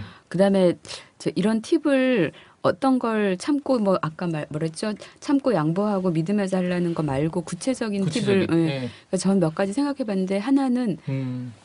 어, 그런 거 있을 것 같아요. 도둑이 들었을 때와 불이 났을 때를 제외하고는 소리를 지르지 않는다. 그러니까 아. 목소리 톤을 높이지만 않아도 이 평화로운 관계가 정말 유지되거든요. 음. 그거 하나. 두 번째, 정말 중요한 얘기를 할 때에는 이 친밀감의 거리 안으로 이렇게 접근해서 한다. 그러니까 저기 있는 사람한테 뭐 당신 어쩌고 저쩌고 이렇게 하지 않고 가까이 60cm라 그러잖아요. 음. 친밀한 사람을 드리는 거리가 60cm 안으로 다가가서 무슨 중요한 얘기를 할 때는 한다. 음, 아, 그건 중요한 예. 팁이네요. 그리고 그 60cm 안에 다가가서 얘기하면서 동시에 이렇게 손이나 뭔가 이렇게 잡고 얘기하면 이렇게 스킨십 정도 네. 그러면 훨씬 더 안정감 있게 소통할 수 있다는 거. 음. 그리고 또 한 가지 팁이 있다면 그런 그런 건데 남편이 늦게 들어왔을 때 당신 왜 이렇게 늦었어? 이런 식으로 언제나 다, 나- 다- 상대방의 행동을 판단하거나 평가하는 말을 하는데 음. 그런 말을 하는 대신 내 감정을 얘기하는 거예요. 음. 당신이 늦어서 걱정했어. 유가 아니라 아이 화법인 예, 거죠. 예, 예. 네. 그리고 아이 합법에서 나의 감정을 솔직하게 얘기하는 음. 거. 그런 식으로만 하면 언어로서 이렇게 부딪힐 일은 없을 것 같다는 생각이 들었어요. 음. 음. 네, 충분히 도움이 되나. 아, 전 가까이에서 좀 손을 잡고 같이 얘기를 해라. 좋은 것 같아요. 네. 네. 4번 질문 한번 들어볼까요? 안녕하세요. 저는 연애하고 싶은 30대 초반 남자 2호입니다. 저는 부모님하고 떨어져 살다 보니까 외로울 때가 많은데요. 그래서 연애하고 싶은 마음에 요즘에 꽤 많이 소개팅을 했는데 좀처럼 안 되더라고요. 아무래도 뭐 소개팅은 목적이 확실하다 보니까 좀 마음이 편하지 않은 것 같아요. 근데 딱히 또 뭐 어떻게 자연스럽게 만날 방법은 잘 모르겠고요. 과연 어떻게 해야지 자연스럽게 여자를 만나서 연애를 할 수 있을까요? 뭔가 마땅한 방법이 있다면 알려주세요. 너무 어려운 질문인데요. 이 소개팅을 하는데도 자꾸 마음에 안 든다는 건 눈이 너무 높다는 거 아닐까요? 아, 그럴 수 있죠. 네. 음. 눈이 너무 높아서 문제다. 아니 잘 모르겠어요. 그리고 음. 또 하나 여자를 자연스럽게 만나면 그렇게 의무감에서 우리는 요이 땅 이제부터 결혼을 목표로 만나는 거야. 이러면 음. 여자도 남자도 부담스러워서 이런저런 부정적인 아주 작은 기미까지도 다 걸릴 수 있, 거든요 그렇죠. 마음에 걸려서 물러날 수 있는데 그러지 말고 여자가 많이 가는 곳에 가보면 어떨까. 그런 생각이 들어요. 옛날에 네.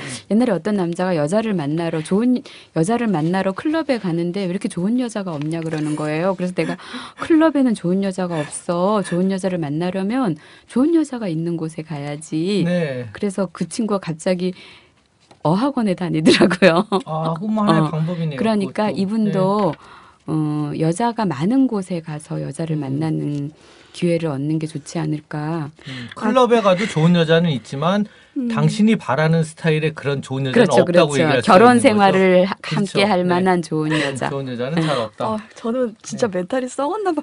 여자가 많은 곳에 가라고 하시길래 저 여탕 이 생각을 하고 있어요. 어, 이거 어떻게 반응해야 될지 모르겠어요. 이게. 네. 죄송합니다. 네. 어, 네.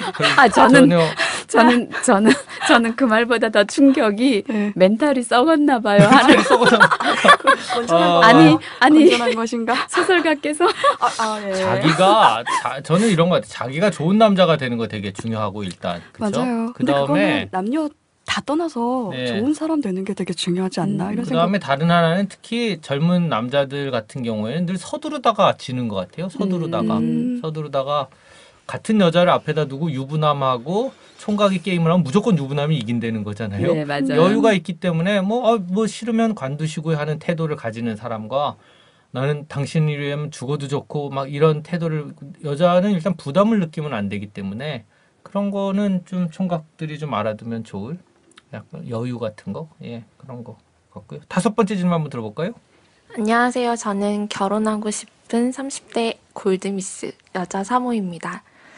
저한테는 남친이 있는데요. 연하예요. 음, 잘생기고 똑똑하고 자상하기까지 해서 저한테는 너무 잘 맞는 남자라고 생각하고 있어요. 근데 연하라 그런지 마음에 좀 부담이 되는 게 있는지 제가 결혼 얘기를 하면 좀 피하는 것 같아서 속상할 때가 많아요. 원래 남자들은 결혼하기 두려워하는 건가? 이런 생각도 이거 들고요. 어떻게 답변하시겠어요? 원래 남자들은 그런가요? 거기 저 궁금해요. 있는데 남자들이. 책임감 정말 두려워하잖아요. 그리고 정말 책에도 있는데 연상의 여자랑 결혼 사귀다가 도망친 남자 얘기 맞아요. 나오잖아요. 네. 음. 총각. 음, 그러니까 남자들이 부모님과 인사하는 것부터 싫어하잖아요. 맞아요. 결혼은커녕 부- 우리 부모님 좀 만나볼래? 그래도 싫어하잖아요. 음. 어, 깜짝 놀라잖아요. 너무 큰 부담과 책임의 세계로 들어가기를 두려워하는 네, 거죠. 네. 음. 그래서 어, 남자에게 책임감이 생길 때까지 기다려야 하나? 이런 경우는 어떻게 해야 되는지 잘 모르겠네요. 저도 결혼을 안 해봐서. 답이 잘 없죠, 사실은. 네네. 네. 그 남, 이거는 완전히 남자에게 달려 있어요. 그러니까 이 여성이 할 수 있는 선택은 그 남자랑 계속 불안한 관계로 가든가 헤어지거나. 아니면 결혼할 수 있는 상대를 만나거나. 네. 저는 헤어지는 것도 방법이라고 생각을 해요. 그냥 어 이렇게 나는 사실 결혼을 원하는데 음, 너는 결혼을 원하지는 않는 것 같다. 음. 만약 그렇다면 그거는 굉장히 중요한 불일치잖아요. 그럼요. 그러면 그럼요. 음. 연애에서 제일 중요한 거는 헤어질 마음을 먹는 거고요. 저는 그런 것 같아요. 결혼도 마찬가지고 헤어질 마음을 먹고 있으면 오히려 그 관계가 오래 잘 가고. 근데 헤어지는 게 두려워지는 순간부터 일이 좀 복잡해지는 것 같아요. 많이. 아 선생님 말씀이신가요? 네, 제 얘기 제가 좀 요즘 생각하는. 감탄하면서 듣고 네. 있습니다. 저도. 아니 그건 제가 제자들 중에도 음. 예를 들면 이 남편과의 문제 같은 거 어, 얘기하는 친구들한테 이 답을 주거든요. 그냥 헤어질 생각을 한번 해봐라. 의외로 관계가 좋아지는 그못 헤어지죠 여성들이. 네, 그런 음. 얘기를 좀 많이 듣는데요. 참 어려운 질문이네요. 이분은 진짜 걱정이 되네요. 네, 이런 상황 음, 애매하죠. 음, 음, 정말 애매한. 예. 자, 여섯 번째 질문인가요, 이제? 네. 안녕하세요. 아이 둘 키우는 직장맘 여자 사호입니다. 제가 아들이 둘인데요. 요즘 세상에 애들, 애둘 키우면서 직장 다니기 정말 쉽지 않죠. 애들한테 집중하면서 살림만 하면 좋겠는데, 그럼 또 왠지 미래가 없을 것 같고. 근데 지금 당장 또 우리 애들을 보면 애들이 너무 불쌍해요. 그렇다고 뭐 회사가 그렇게 꿈의 직장이냐. 그런 것도 아니잖아요. 회사 옮긴다고 해도 또 똑같은 일들로 힘들 거를 아니까 그냥 저냥 뭐 이렇게 다니고 있습니다. 왜냐하면 뭐 애들을 위해서 희생하는 것만은 꼭 아니니까 일을 하는 거는 또 저를 위한 것이기도 하니까요. 그렇지만 이렇게 가끔씩 내가 너무 소모된다는 느낌이 들 때가 많아요. 집에서나 회사에서나.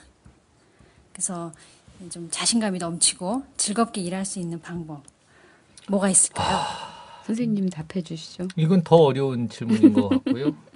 그냥 저도 맞벌이인 집에서 애 하나를 키운 경우인데 어 언젠가는 이것도 끝이 온다 하는 거 애들도 좀 크고 어떤 시기가 오는데 그런 시기를 생각하면은 어려워도 잘 넘기면은 또 애들은 언젠가는 크게 돼 있고 그러니까 제가 그 뭐 이 나이 드신 노인들을 좀 모시다 보면 그건 되게 출구가 없는 거잖아요. 좋은 결말이 없는. 근데 애 키우는 건 그나마 언젠가 좀 좋은 결말을 기대할 수도 있고 그래서 그냥 그런 생각을 갖고 생각보다 그 한 10년 정도의 시간이 잘 간, 빨리 지나간다. 그 후에는 그래도 어, 힘들어도 두 가지를 같이 에, 버티시는 게 좋을 수 있고 그리고 철저하게 개인적 선택인 거죠. 애를 키우기 위해서 직장을 그만두는 경우 남자든 여자든 또는 그냥 직장을 선택하는 경우 잃고 얻는 게 있는데 그걸 그냥 받아들이고 이런 게 되게 중요하다는 어, 예 선생님 생각 저는 그 사- 저도 이제 직장 생활 하는 동안에 여기 아까 소모되는 느낌이라는 표현을 하셨는데 네. 이런 느낌을 받은 적이 많이 있어요. 네. 음, 그리고 재충전 없이 계속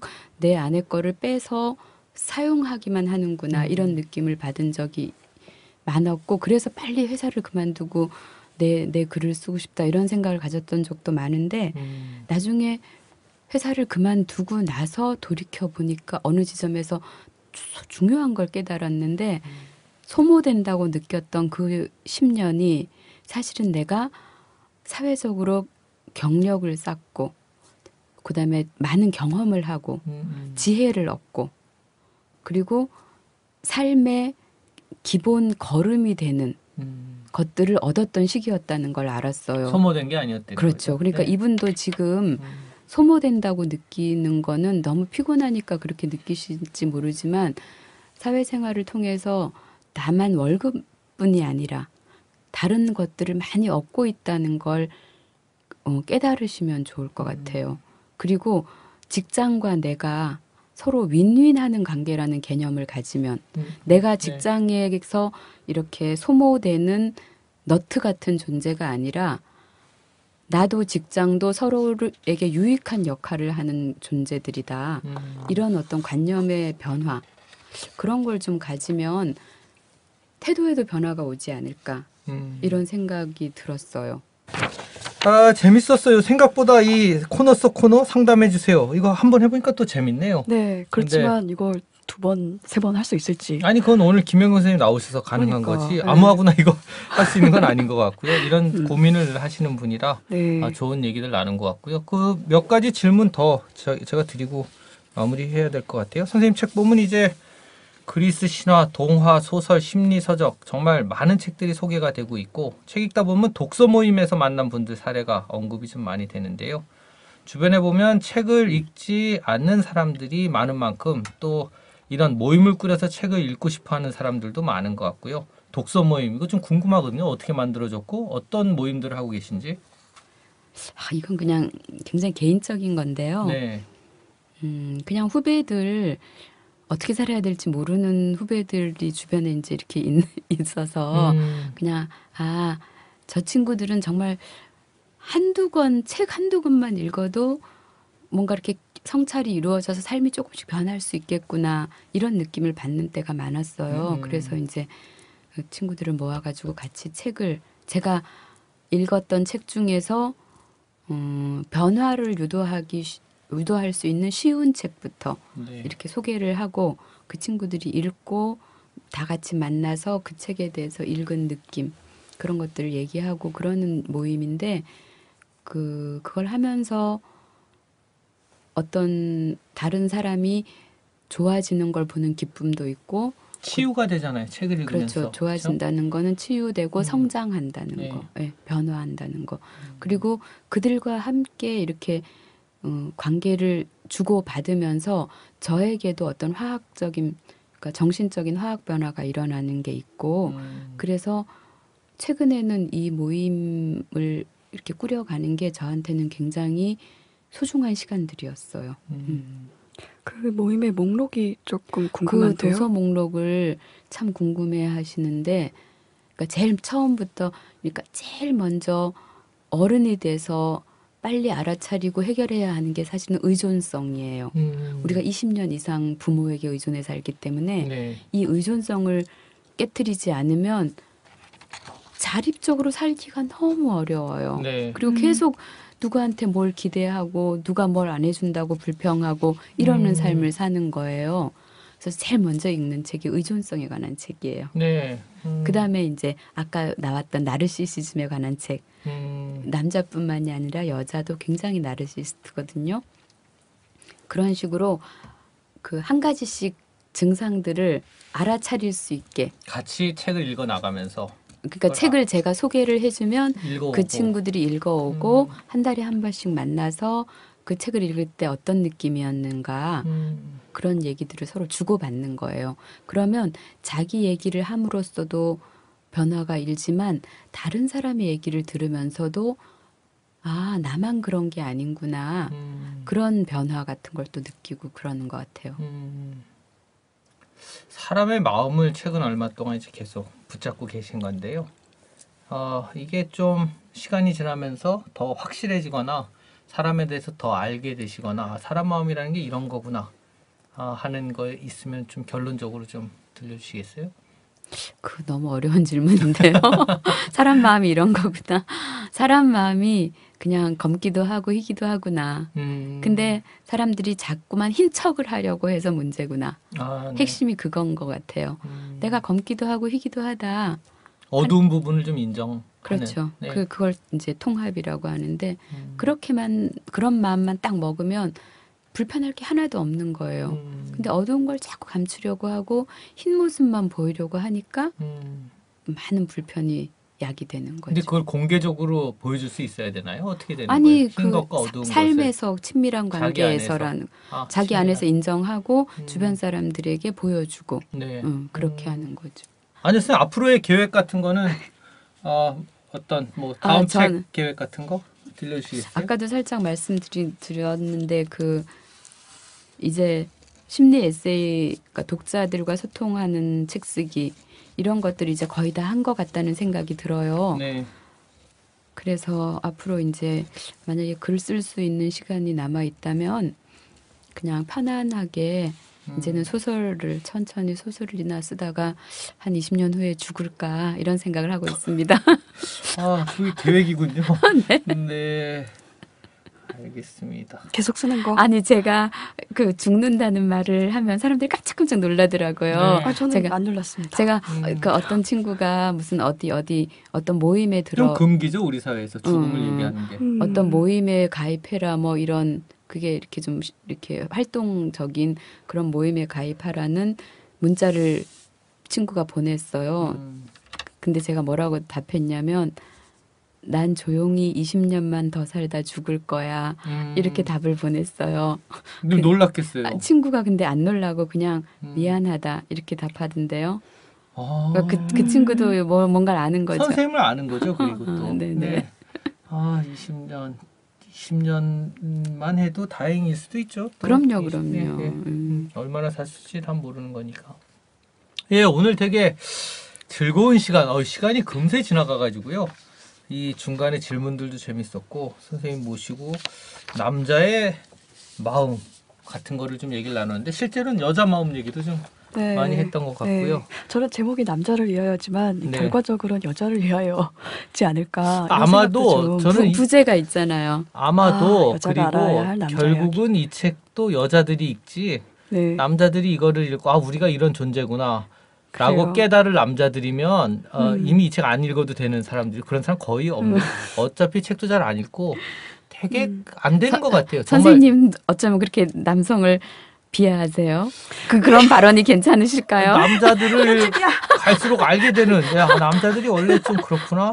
그리고 요즘 갈수록 책은 진짜 안 읽는다. 제 주변의 친구들 보면요. 맞아요. 음. 다 나름 뭐 사회적으로 성공하고 자기 위치가 있고 그래서 되게 밖에서 보면 저 정도 위치면 이런 책들을 읽을 거다 싶은데 정말 책이라고는 한 개도 안 읽는 친구들이 너무 많아서요. 이 책은 여자들만 읽나? 강연 같은 데 가도 되게 여성들. 어, 거의 8, 90% 여성들인 것 같고. 네, 나타나지 않을 뿐 읽는 남자 독자들이 의외로 많을 수도 있을 것 같은데요. 그리고 그 강연에 나타난 그 여성들이 집에 가서 남편에게 네. 그 들은 얘기를 전해주면 네. 그 파급 효과가 있을 거예요. 우리 긍정적으로 아, 생각합시다. 남자들에게 희망을 좀 갖자. 네네네. 네. 아, 오늘 아주 좋은 결론인 것 같아요. 네. 남자들에게 희망을 좀 갖자 하는 말씀으로. 아, 오늘 선생님 방송 어떠셨어요? 마지막으로 네. 즐거웠습니다. 네네. 네, 저희도 되게 즐거웠고요. 네, 재미있었습니다. 다음에 한번 또 모시면 좋을 것 같아요. 이런 네. 질문들 막 모아가지고 되게 재밌는. 예, 선생님 오늘 감사합니다. 긴 네, 시간. 저도 감사했습니다. 네. 고맙습니다. 수고하셨습니다. 네, 선생님 아. 정말 애쓰셨어요. 이걸 아, 그 전부터 하셨다는. 거죠. 네, 어, 와, 네. 이제 10개월 됐나? 되게 팔 재밌어요. 저는 진짜 아. 재밌어요. 이 양반도 힘들어하는데 저는 되게 음. 재밌는. 왜 저는 힘들어요? 그냥. 윈윈한다, 윈윈한다고 생각하지. 작가는 그러나 음. 이 자기 캐릭터가 음. 황정원 작가는 그 아니 그게 아니고 그냥 말이 인터, 인터넷에 한번 올라가면 지워지질 않잖아요. 많이 돌아다닌다는 그런 부담감이 느낌 좀 있는 것 같아요. 인터넷에서 널리 확산되면 좋죠, 뭐.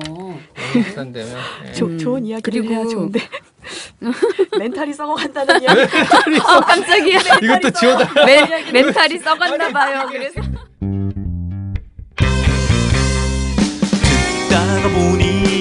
빠져드네 듣다가 보니 재미가 있네.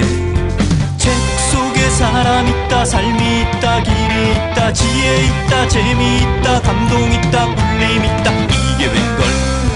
기다려지네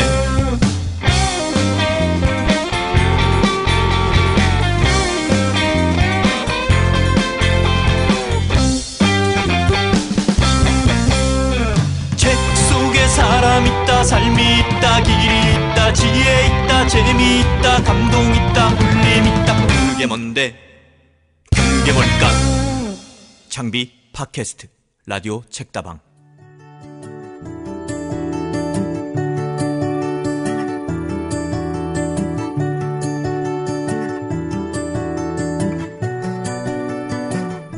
라디오 책다방은 창비 홈페이지 www.changbi.com과 창비 문학 블로그 창문 radio.changbi.com에서 듣거나 다운받으실 수 있습니다. 창문 게시판에서는 다양한 책다방 소식도 만나실 수 있습니다. 창문 게시판, 아이튠즈, 팟빵에 청취 소감을 남겨주시는 분들께는 창비 페이스북의 이벤트를 통해 푸짐한 선물도 드립니다. 많은 참여 부탁드립니다.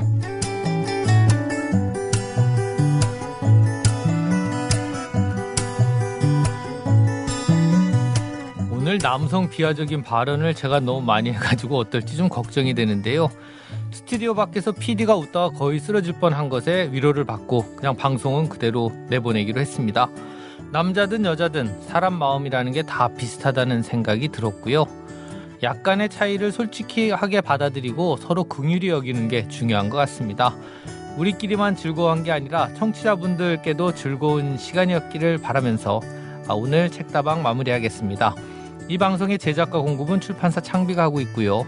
프로듀서 황혜숙, 윤자영, 박주영, 기술 편집의 석상원, 유군백, 홍보의 지은영, 김정규 씨가 수고해 주셨습니다. 월요일 오면 찾아오는 라디오 책다방 다음 주에 또 찾아뵙겠습니다.